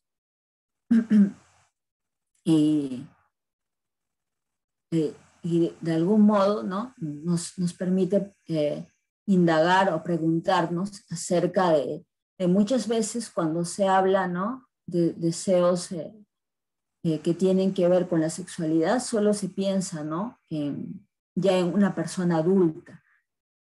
Pero ¿qué pasa, no? Con los niños, ¿no? Que tienen deseos diferentes, ¿no? Eh, no hay, eh, no hay eh, algo que explique ¿no? sus deseos. Y, por eso me parece muy importante que Crónicas de la Diversidad también ¿no? tenga charlas al respecto, ¿no? porque hay que ver también ¿no? alguna vez leí un artículo de Giancarlo Cornejo acerca del niño queer, ¿no? Por ejemplo. Los niños también, ¿no? Eh, pueden tener diferentes, ¿no? Deseos, ¿no? Y, pero debido a esta mirada un tanto eh, limitada, ¿no? Que viene del, de, un contexto patriarcal, ¿no? y, fuertemente cristiano, eh, impide ver que los niños eh, también ya tienen sus propios deseos, ¿no? Eh, y, yo imagino, ¿no? Esta, la voz de esta niña, ¿no? lesbiana, que no sabe dónde encaja, ¿no? Dentro, dentro de ese mundo. Porque observa. Los, los, mm, la televisión, ¿no? Por ejemplo, ¿no? O Internet ahora, ¿no? Donde, bueno, ahora ya el mundo ha cambiado, ¿no? Desde, desde el 2007, ¿no? Pero antes, eh, eh, las imágenes, ¿no? Que nos brindan eh, la, más media, ¿no? Que por ejemplo son las películas, ¿no? Son de parejas heterosexuales, ¿no? Siendo felices por siempre, ¿no? Y, de pronto, ¿qué pasa no? si no se siente identificado, ¿no? este niño, esta niña con, ese, ¿no? con esos personajes, ¿no? con esos felices por siempre? Eh, eh, ¿no? diferentes. Entonces es importante tenerlas en cuenta también. ¿no? Y, este poema creo que lo, dice de manera muy clara. Y, bueno, ya para terminar eh, la charla, vuelvo nuevamente a la narrativa. Eh, este texto que se publicó, eh, eh, Voces para Lili, creo que no, no se ve. bueno, lo digo, Voces para Lili, editado por Melissa Gessi y Claudia Salazar, ¿no? En 2011. Dentro de este libro he seleccionado el cuento de Morela Petrosi, que me pareció también interesante de, analizar.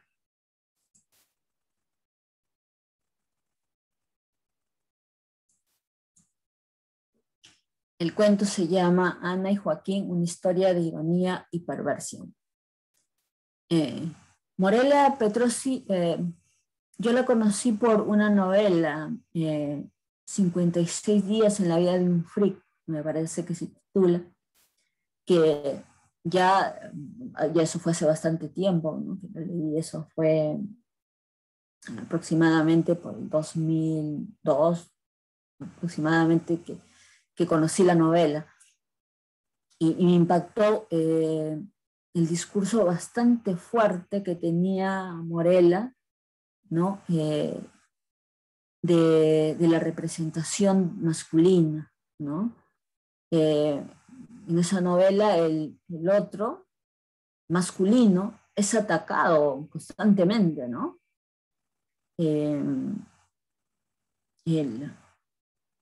de algún modo hay un cuestionamiento ¿no? a todo el patriarcado en esa novela, a partir de la figura masculina. ¿no? Bueno, ahora, hablando de este cuento, Ana y Joaquín, una historia de ironía y perversión, em, me llamó la atención porque, em, a diferencia, ¿no? Bueno, también ya ha pasado bastante tiempo, ¿no? De la novela de Carmen Ollé, aquí sí se dice, ¿no? Soy lesbiana, ¿no? Sin temor. Pero no, no solo eso, ¿no? Sino que eh, a su vez es un lesbianismo sumamente transgresor, que no se, que no se eh, queda fijo, ¿no? Eh, en ese concepto, sino que también se moviliza, ¿no? También tiene ¿no? En otra cosa, ¿no? Les leo, a ver, los extractos. Tengo un par de tetas chicas, pero bien formadas, un culo parado y un coño insolentemente húmedo y listo para satisfacer a cualquier pichula. Mi problema es que soy una lesbiana a, la que le gustan las pichulas. Entonces, ya desde el, inicio ¿no? del cuento, como les decía, ya se nombra, ¿no? soy una lesbiana, ¿no? ya no hay temor. Lo que está presentando el cuento es eh, eh, extraño para, para, la configuración ¿no? del, del, deseo lesbiano. Y está mencionando más bien algo que podría ser heterosexual, pero ella no es heterosexual, ¿no? Eh, más adelante dice, ¿no? eres lesbiana hace 20 años, eso lo tengo claro. Estás aquí porque quieres tener relaciones de tipo heterosexual con un tipo que se llama Joaquín. Moví la cabeza afirmando. Sí, la, la que está contando la historia es una, es una mujer eh, que eh, quiso ser bailarina, ¿no? Pero no, no, no tenía los, digamos, las condiciones, ¿no? Sus pies eran muy grandes, ¿no? Dice, dice el cuento. Y, pero le gusta todo ese mundo, ¿no? Todo ese mundo, está muy involucrada. Y él ha acudido, ¿no? Eh, eh, para que eh, esta mujer, la que, la que le dice eres lesbiana hace 20 años, le ayude, ¿no? Le ayude, le ayude a conseguir a Joaquín Cortés, ¿no? luego lo va a decir. Eh, Joaquín Cortés dijo entre susurro y sorpresa. No quería revelarte el apellido, contesté. No es lo importante, no es su fama el problema ni lo que me interesa. El problema radica en que no quiero que ningún hombre me penetre. Soy yo la que me lo quiero tirar. ¿No es Madonna la que dijo que no tomaba por amantes a hombres que no se le hayan metido por el rabo? De todos modos, decían que Joaquín era un comepollas. Estoy segura que se le habían dado por atrás. Entonces, aquí, aquí en este fragmento ya revela eh, cuál es su deseo, ¿no? Quiere poseer a Joaquín Cortés, pero es algo bien interesante, ¿no? Esta, eh, este personaje lesbiano asume el poder, ¿no? Dentro de esta relación todavía, ¿no? Eh, en ámbito platónico, ¿no?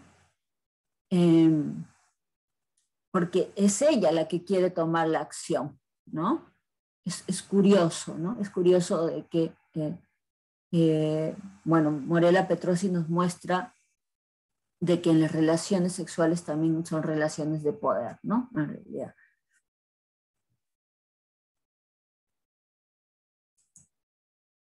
En este otro extracto dice, eh, ya, e, esto es parte de, una conversación mayor donde ella le está mm, mostrando una especie de de sueño que tiene, ¿no? De sueño que tiene, eh, eh, porque esto todo está pasando en un plano irreal, ¿no? Es, su imaginación, porque no, no se llega a concretar. Eh, dice, ¿no? él la posee durante el FOC y ahora yo deseo justamente ese mismísimo acto de aberración sexual, el acto de dejar que le tire el mismo el que te mata, deseo penetrarlo, quiero que se venga como una mujer. ¿no?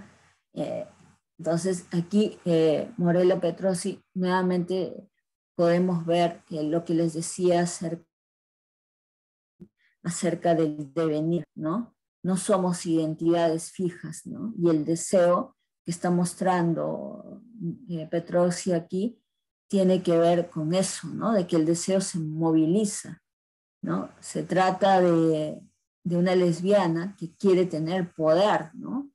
Sobre un hombre que tiene elementos femeninos, ¿no? Al menos eh, aparentemente eh, está asociado también, ¿no? no, dice, no, no, lo dice claramente, se sospecha, ¿no? De que Joaquín también es homosexual, ¿no? Entonces de pronto aparece otro elemento más, ¿no? No, es, no se trata de una relación heterosexual, porque eh, su objeto de deseo eh, es más bien imaginado como una mujer, ¿no? Como una mujer. Y lo dice, quiero que se venga como una mujer, ¿no? Eh, y aquí en este fragmento se nota mucho más, ¿no? lo he cortado por cuestiones de tiempo, pero el, el fragmento es mucho más grande y donde se ve este, eh, esta metáfora ¿no? que habíamos visto en Violeta, ¿no? del aguijón y la esponja, eh, digamos, narrativizado, ¿no? Narrativizado, de que un cuerpo puede tener ¿no? elementos eh, de ambos géneros, ¿no? Bueno, les leo el extracto. Yo llevo puesto un vestido rojo, ¿no? esa es la, la bailarina o la que quería ser bailarina, ¿no? que desea que desea estar con Joaquín, le está, le está contando ¿no? su, su sueño, su, su deseo eh, em, a partir de, eh, de, estas imágenes ¿no? que ella tiene. Yo llevo puesto un vestido rojo ceñido al cuerpo, se pueden ver mis tetas inquietas y un bulto entre las piernas. Tengo pene y tetas, estiro el brazo y logro alcanzar a uno de los pájaros disecados que tengo sobre la repisa. Es un cuervo negro, igual a los usados en la película Verse de Hitchcock. Empiezo a empujar y a hundir el pico del ave sobre las hermosísimas nalgas de mi gitana. ¿no? Ahí, ahí, como les decía, se nota muy claramente la, el gesto transgresor del deseo y del cuerpo, ¿no?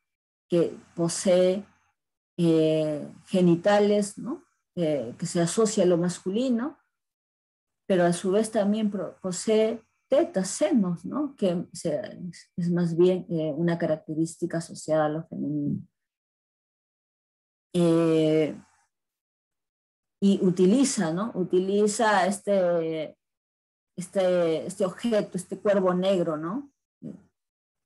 Como especie de falo ¿no? para penetrar ¿no? a, Joaquín. Y eso, es, eh, me parece bastante, bastante interesante porque está mostrando ¿no? Eh, identidades no, no fijas. ¿no? Muy bien. Eh, para terminar, vuelvo, vuelvo a la pregunta inicial, ¿no? Acerca de la escritura lesbiana. Eh, bueno, de, este, de esta selección que he hecho, he intentado eh, mostrar las diferentes vertientes, ¿no? las diferentes posturas, que puedo encontrar líneas intertextuales, ¿no? vasos comunicantes entre, entre cada propuesta, ¿no? Eh, pero también la forma en que deciden, ¿no? Eh, exponer ese, ese, deseo lesbiano presente, ¿no? Por un lado está Nelly Fonseca, ¿no? una niña de 12 años, una adolescente de 12 años, que utiliza, ¿no? en los años 30, utiliza el, el seudónimo, ¿no? y se llama Carlos Fonseca para poder escribir poesía ¿no? a la manera masculina. Yo eh, en una ponencia presenté la idea de que se trataba de una parodia, ¿no? porque de pronto eh, el hecho de escribir de la forma masculina, ¿no? De lo, lo masculino, no solo eso, sino de, de todo el pensamiento patriarcal. ¿no? Eh, también eh,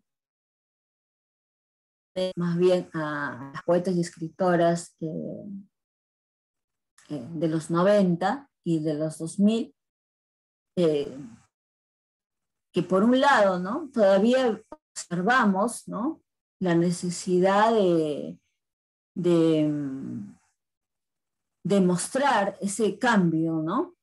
pasar de, del estado de encierro, ¿no? de la jaula, o del no decir a decirlo, ¿no? a manifestarlo. Eh, pero no solo eso, sino que ya hemos llegado, se ha dado un paso más en la literatura, ya no solo decirlo, sino mostrar que en realidad el género eh, es una construcción que se puede cuestionar, que se puede desarticular, que se puede desmontar. Y con respecto a lo lesbiano también, ¿no? También. Y yo creo que ya lo que nos decía eh, eh, Violeta Barrientos y Morela Petrosi lo muestran claramente, ¿no? devenimos siempre en otros cuerpos, devenimos en otros deseos, no somos eh, eh, objetos fijos, ¿no? Sino que eh, muchas veces somos guiados por el deseo, solo que dentro de una cultura donde la razón prima, ¿no? Eh, obviamente le tenemos miedo hasta, hasta a nuestros propios deseos, y a veces no, no se puede nombrar. Termino la charla de hoy día con esta cita de Silvia Moyoy. Dice, ¿no? Exhibir no solo es mostrar, es mostrar de tal manera que aquello que se muestra se vuelva más visible, se reconozca, ¿no?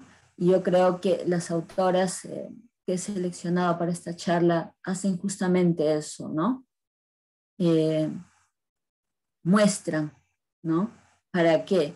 Para que se haga visible y para que se reconozca finalmente. ¿no? Eh, y la literatura eh, de algún modo se vuelve ese espejo, ¿no? De algún modo la literatura visibiliza, ¿no? Reconoce. Y yo creo por eso que es muy importante, ¿no? Eh, tanto la poesía como la narrativa. Gracias. Muchas gracias, eh, Judith. Eh, más bien, no sé si hay preguntas de quienes están asistiendo. Quizás quieran comentar algo. hay algunas cosas que han ido colocando en el, chat. Eh, quizás algo pueda leer de aquí. Eh, dijo Viviana Galvez, quizás Carlos Fonseca tenía más libertad en la sociedad que Nelly Fonseca. Y pregunta, ¿se podría decir que adopta una pose, que adoptar una pose en la sociedad te da más libertad? No sí. sí. Me parece una pregunta muy interesante. Eh, claro, ¿no? aparentemente eh, el hecho de escribir, ¿no? Como Carlos Fonseca, eh, le permitía, ¿no? Generarse un espacio dentro de la literatura, porque si llevan nombre de hombre, ¿no? Es más fácil, bueno, estamos hablando de los años 30, ¿no? Era más factible que su obra sea leída, ¿no? Eh, bueno, por toda la historia de ninguneo ¿no? que han sufrido las mujeres ¿no? Eh, eh, mucho antes ¿no? del siglo XX. entonces, y muchas escritoras han, ido por ese camino también, ¿no? del seudónimo, para poder ser valoradas ¿no? y que su escritura no, no sea denominada. ¿no? o, no dejada de ser valorada por el hecho de ser mujer, ¿no? Eh, es una lucha constante en realidad, sí. Eh, y bueno, yo creo que precisamente adopta esa pose porque esa pose tiene algo de verdad acerca de ella, ¿no? Lo veo de ese modo, ¿no? No, veo la pose como una máscara hueca, ¿no? sino que eh, en esa pose hay una verdad, ¿no? Hay una verdad acerca de su identidad, hay una verdad acerca de su deseo, ¿no? Que obviamente como máscara se protege, ¿no? Se protege, pero eh, como dice Moyoy, a, su vez está exhibiendo. Solo el que sabe descifrar, ¿no? Eso va a poder, poder verla, ¿no? Realmente porque muchas veces la máscara solo nos desnuda.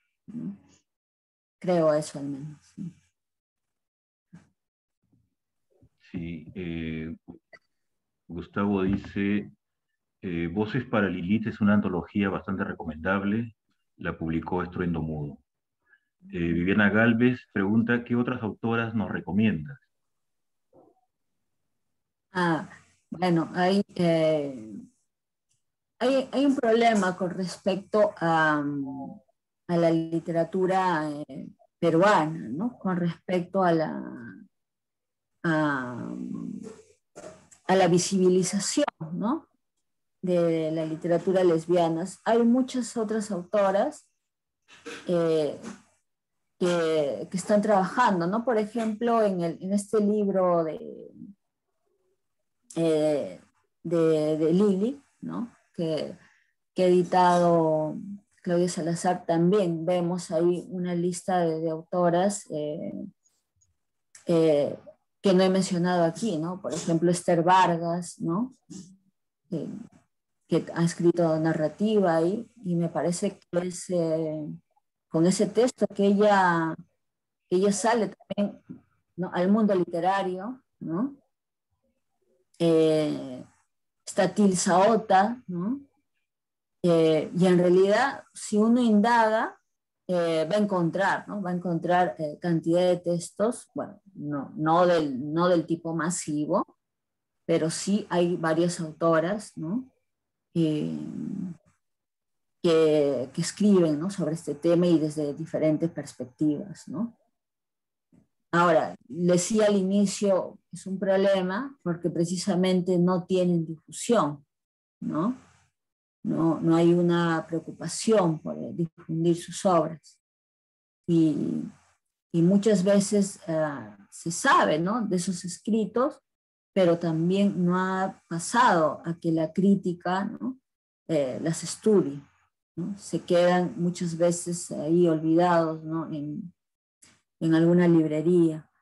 Y, por eso vuelvo a la idea ¿no? de la visibilización, no solo como lectores, ¿no? sino también, lo digo también desde mi punto de vista, como crítica literaria. Y, y, sí, sí, ese, ese libro de las voces de Lili es, es, muy interesante porque nos permite conocer ya autoras canónicas, ¿no? Ahí, también está Carmen Ollé, eh, pero eh, también está Violeta Barrientos, eh, pero también están, por ejemplo, Tilsa Ota, Esther Vargas, ¿no? que son eh, voces nuevas, ¿no? tanto en la poesía como en la narrativa. sí. Sí. Sofía Gómez dice, Judith, muy buena tu exposición. ¿Crees que la poesía es un género que permite o facilita mejor la entrada a la escritura de autoras lesbianas o gays? Bueno, por un lado, em, por un lado, me parece que habría un acercamiento mayor porque decía es eh, la representación del yo, ¿no? Eh, aún se escribe en tercera persona, ¿no? Aún así. con el autor o la autora y permite eso, ¿no? Permite. Ahora, la cuestión es que debido a que la poesía, ¿no? Por ejemplo, ¿no? Que se puede nutrir de diferentes figuras literarias, pero una de las que más utiliza eh, es la metáfora. Y, el problema es eso, ¿no? De que muchas veces las metáforas eh, no son descifrables para el gran público, ¿no?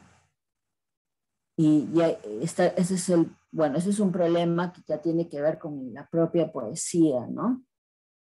Que cuántos, ¿no? Cuántos eh, de nosotros, ¿no? Por mencionar solo, solo un grupo de personas, eh, hemos leído poesía eh, de niños, ¿no? De adolescentes en el colegio. Más allá del recitado, ¿no? Que nos, nos encomendaban los docentes, ¿no? Aprendernos de memoria un poema, a veces ni, siquiera sabíamos el sentido del poema. Debido a que la poesía es digamos, un tanto más difícil de procesar para la gran mayoría de gente, eh, de algún modo, eh, se, más bien ocurriría lo contrario, ¿no? De que es lesbiana, por ejemplo, ¿no? Eh, también producto de muchas taras sociales que pueda tener el, el lector, ¿no? Les cuento una anécdota a propósito de eso, ¿no? Eh, me acuerdo en una clase, recién era para estudiantes eh, que recién habían ingresado a la universidad, o sea, todavía no, no habían leído, ¿no? no tenían todo el bagaje teórico ¿no? que en los años siguientes eh, obtienen. Entonces, les, recién estaban llevando su primer curso netamente de especialidad, ¿no? Y selecciona precisamente un poema de Nelly Fonseca, eh, de otro poemario. Eh, eh, y, les digo ¿no? que hagan el análisis a partir de,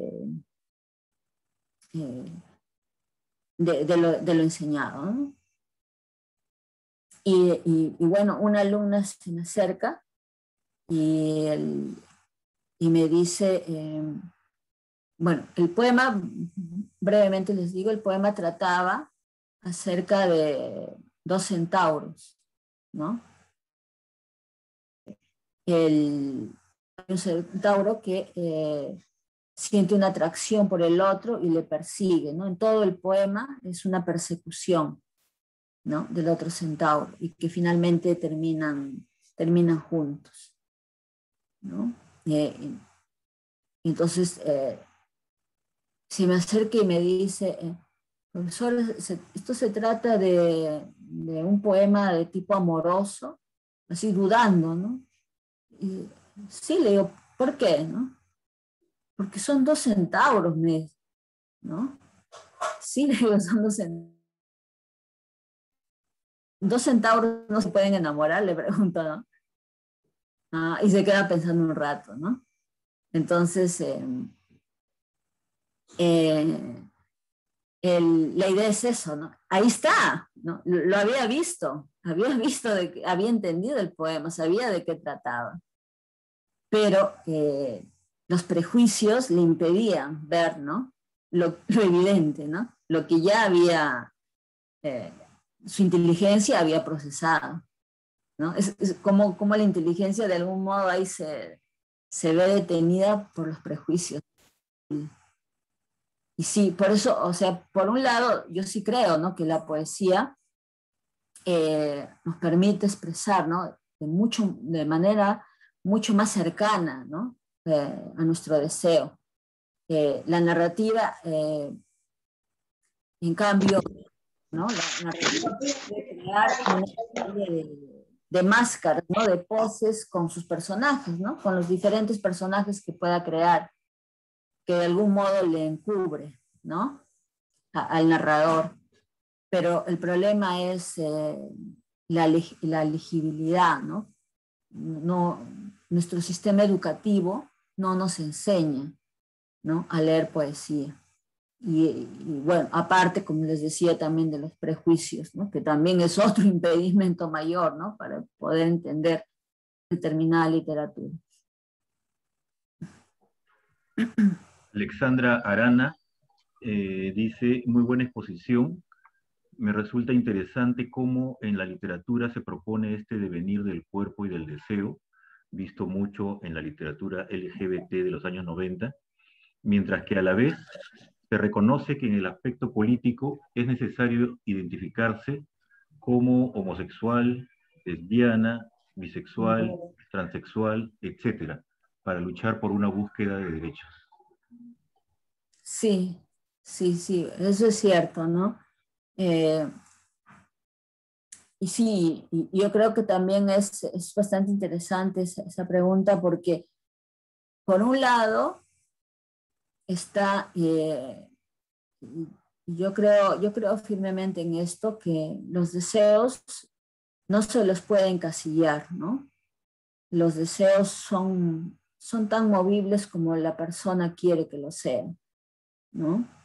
Eh, pero siempre están esas voces imperativas que les mencionaba, en el caso de la novela de Oye, que nos jalonean, ¿no? nos dicen por dónde ir, eh, y que a veces defrauda nuestro propio deseo. ¿no?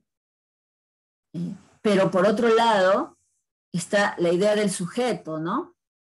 que funciona más bien como una representación de tipo política, ¿no? Porque para que se logren determinados eh, derechos se necesita tener eh, una representación política. Eh, por un lado les decía que la literatura permite también eso, ¿no? mucha de esta literatura en realidad tiene elementos políticos, ¿no? No, no en el sentido de, de, partidos políticos, ¿no? sino en el sentido del manejo del poder. ¿no? También nos está mostrando eh, de existencias, ¿no? voces.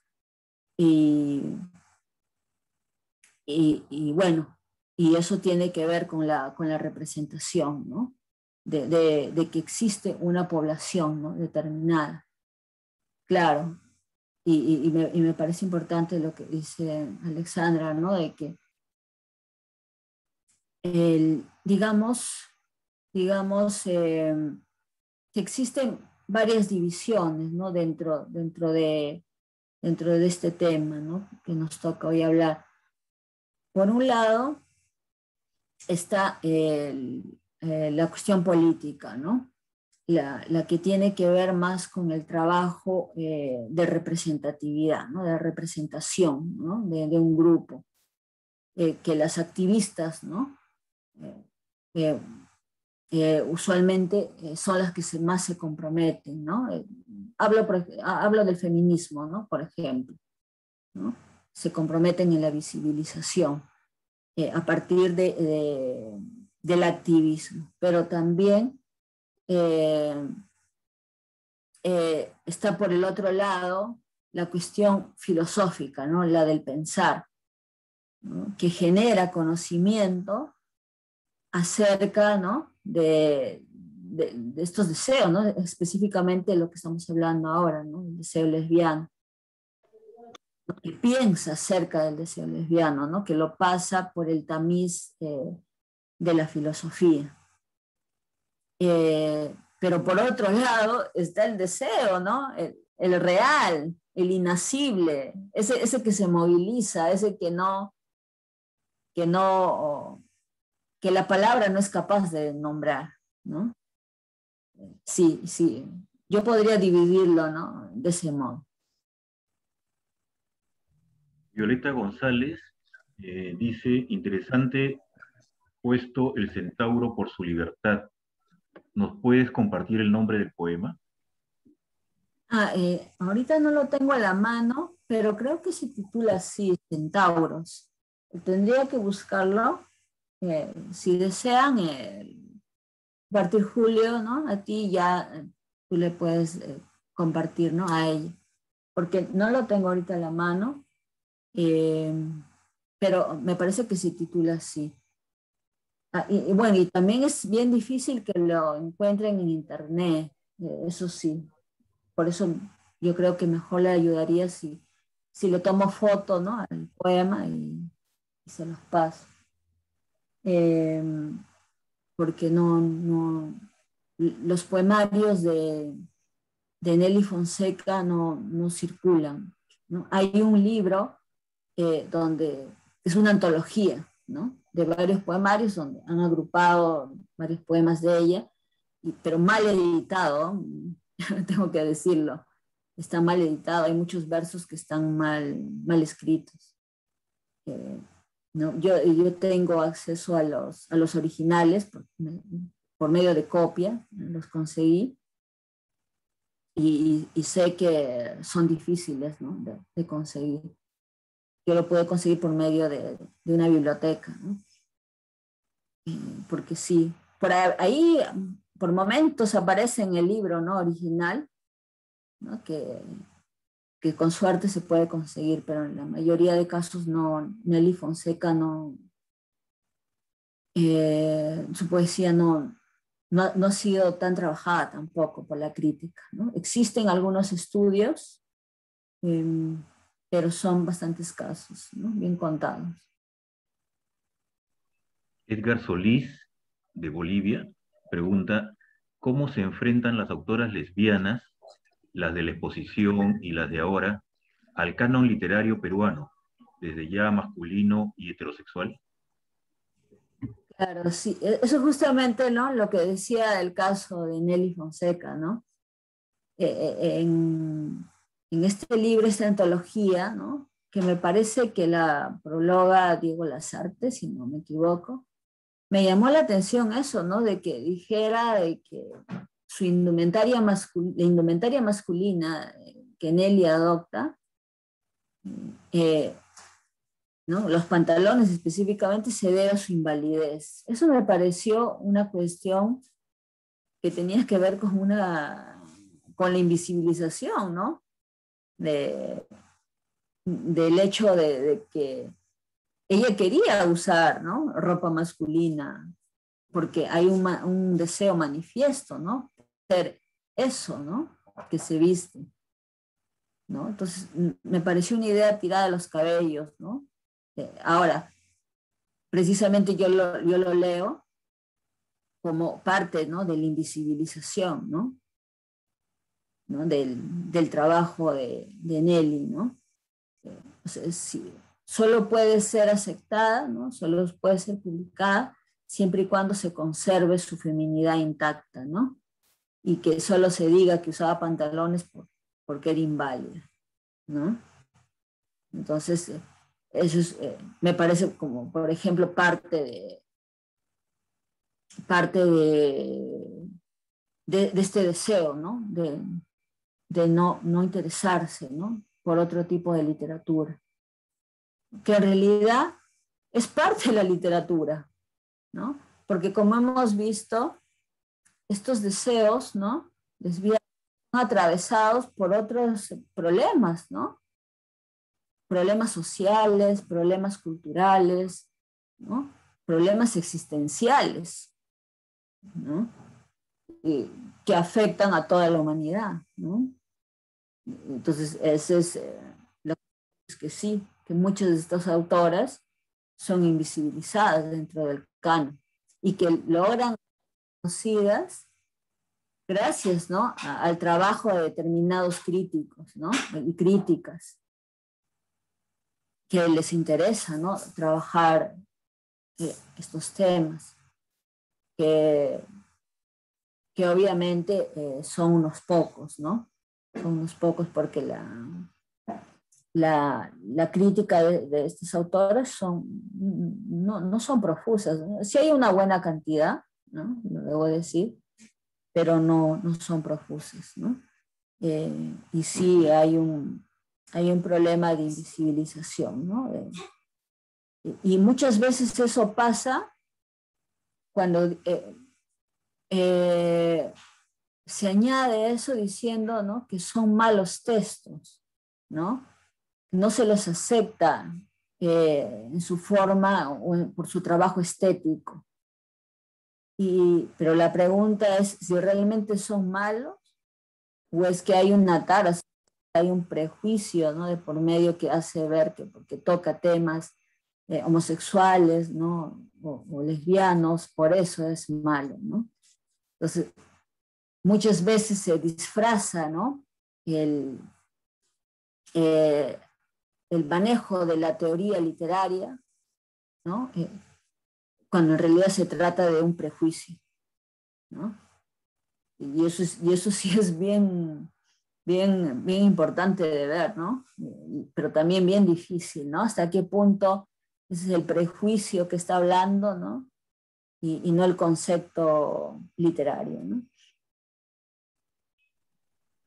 Ok, eh, Alexandra Arana dice, en el caso de las dos caras del deseo de Carmen Ollé, por ejemplo, se puede intuir que se enfrenta a la literatura de la migración y el discurso del éxito del hombre migrante y exitoso en los Estados Unidos. Claro, a eso me refiero, ¿no? Que todos estos textos eh, están trabajando, ¿no? Diferentes niveles, ¿no? Diferentes eh, eh, matices, ¿no? Para construir el personaje. Y, a mí me parece bien interesante, lo, lo decía, ¿no? El, eh, a, propósito de los versos de Violeta, ¿no? De, estar entre, ¿no? La figura del migrante es precisamente eso, ¿no? ¿Dónde está el migrante, no? ¿Está en, la, en el lugar que dejó o está en el nuevo lugar, no? Y, es cierto, ¿no? El, eh, eh, Ada no, no se comunica ¿no? con los estadounidenses, se comunica con otros latinoamericanos, con otros hispanohablantes, ¿no? con sus similares. Entonces la pregunta igual es, ¿dónde están los migrantes? ¿no? En realidad. Y, y, si vemos, también está en una posición ambigua, ¿no? igual que su, que su deseo lesbiano. ¿no? y, Carmen Oye, me parece magnífico que ha trabajado, ¿no? Esa ambigüedad a diferentes niveles. Ada siempre está entre, ¿no? Entre un lugar o entre el otro, ¿no? pero no está ni, ni, en A ni en B, ¿no? está en entre, entre lugares. Ok, Judith, muchas gracias entonces. Eh, gracias a todas, a todos, a todos. Eh, y quedamos coordinando para eh, las otras dos sesiones que, que, vienen, sesiones de lectura. Ya estaremos informándoles a, a los participantes, las participantes por el correo electrónico. Muchas gracias entonces. Muchas gracias.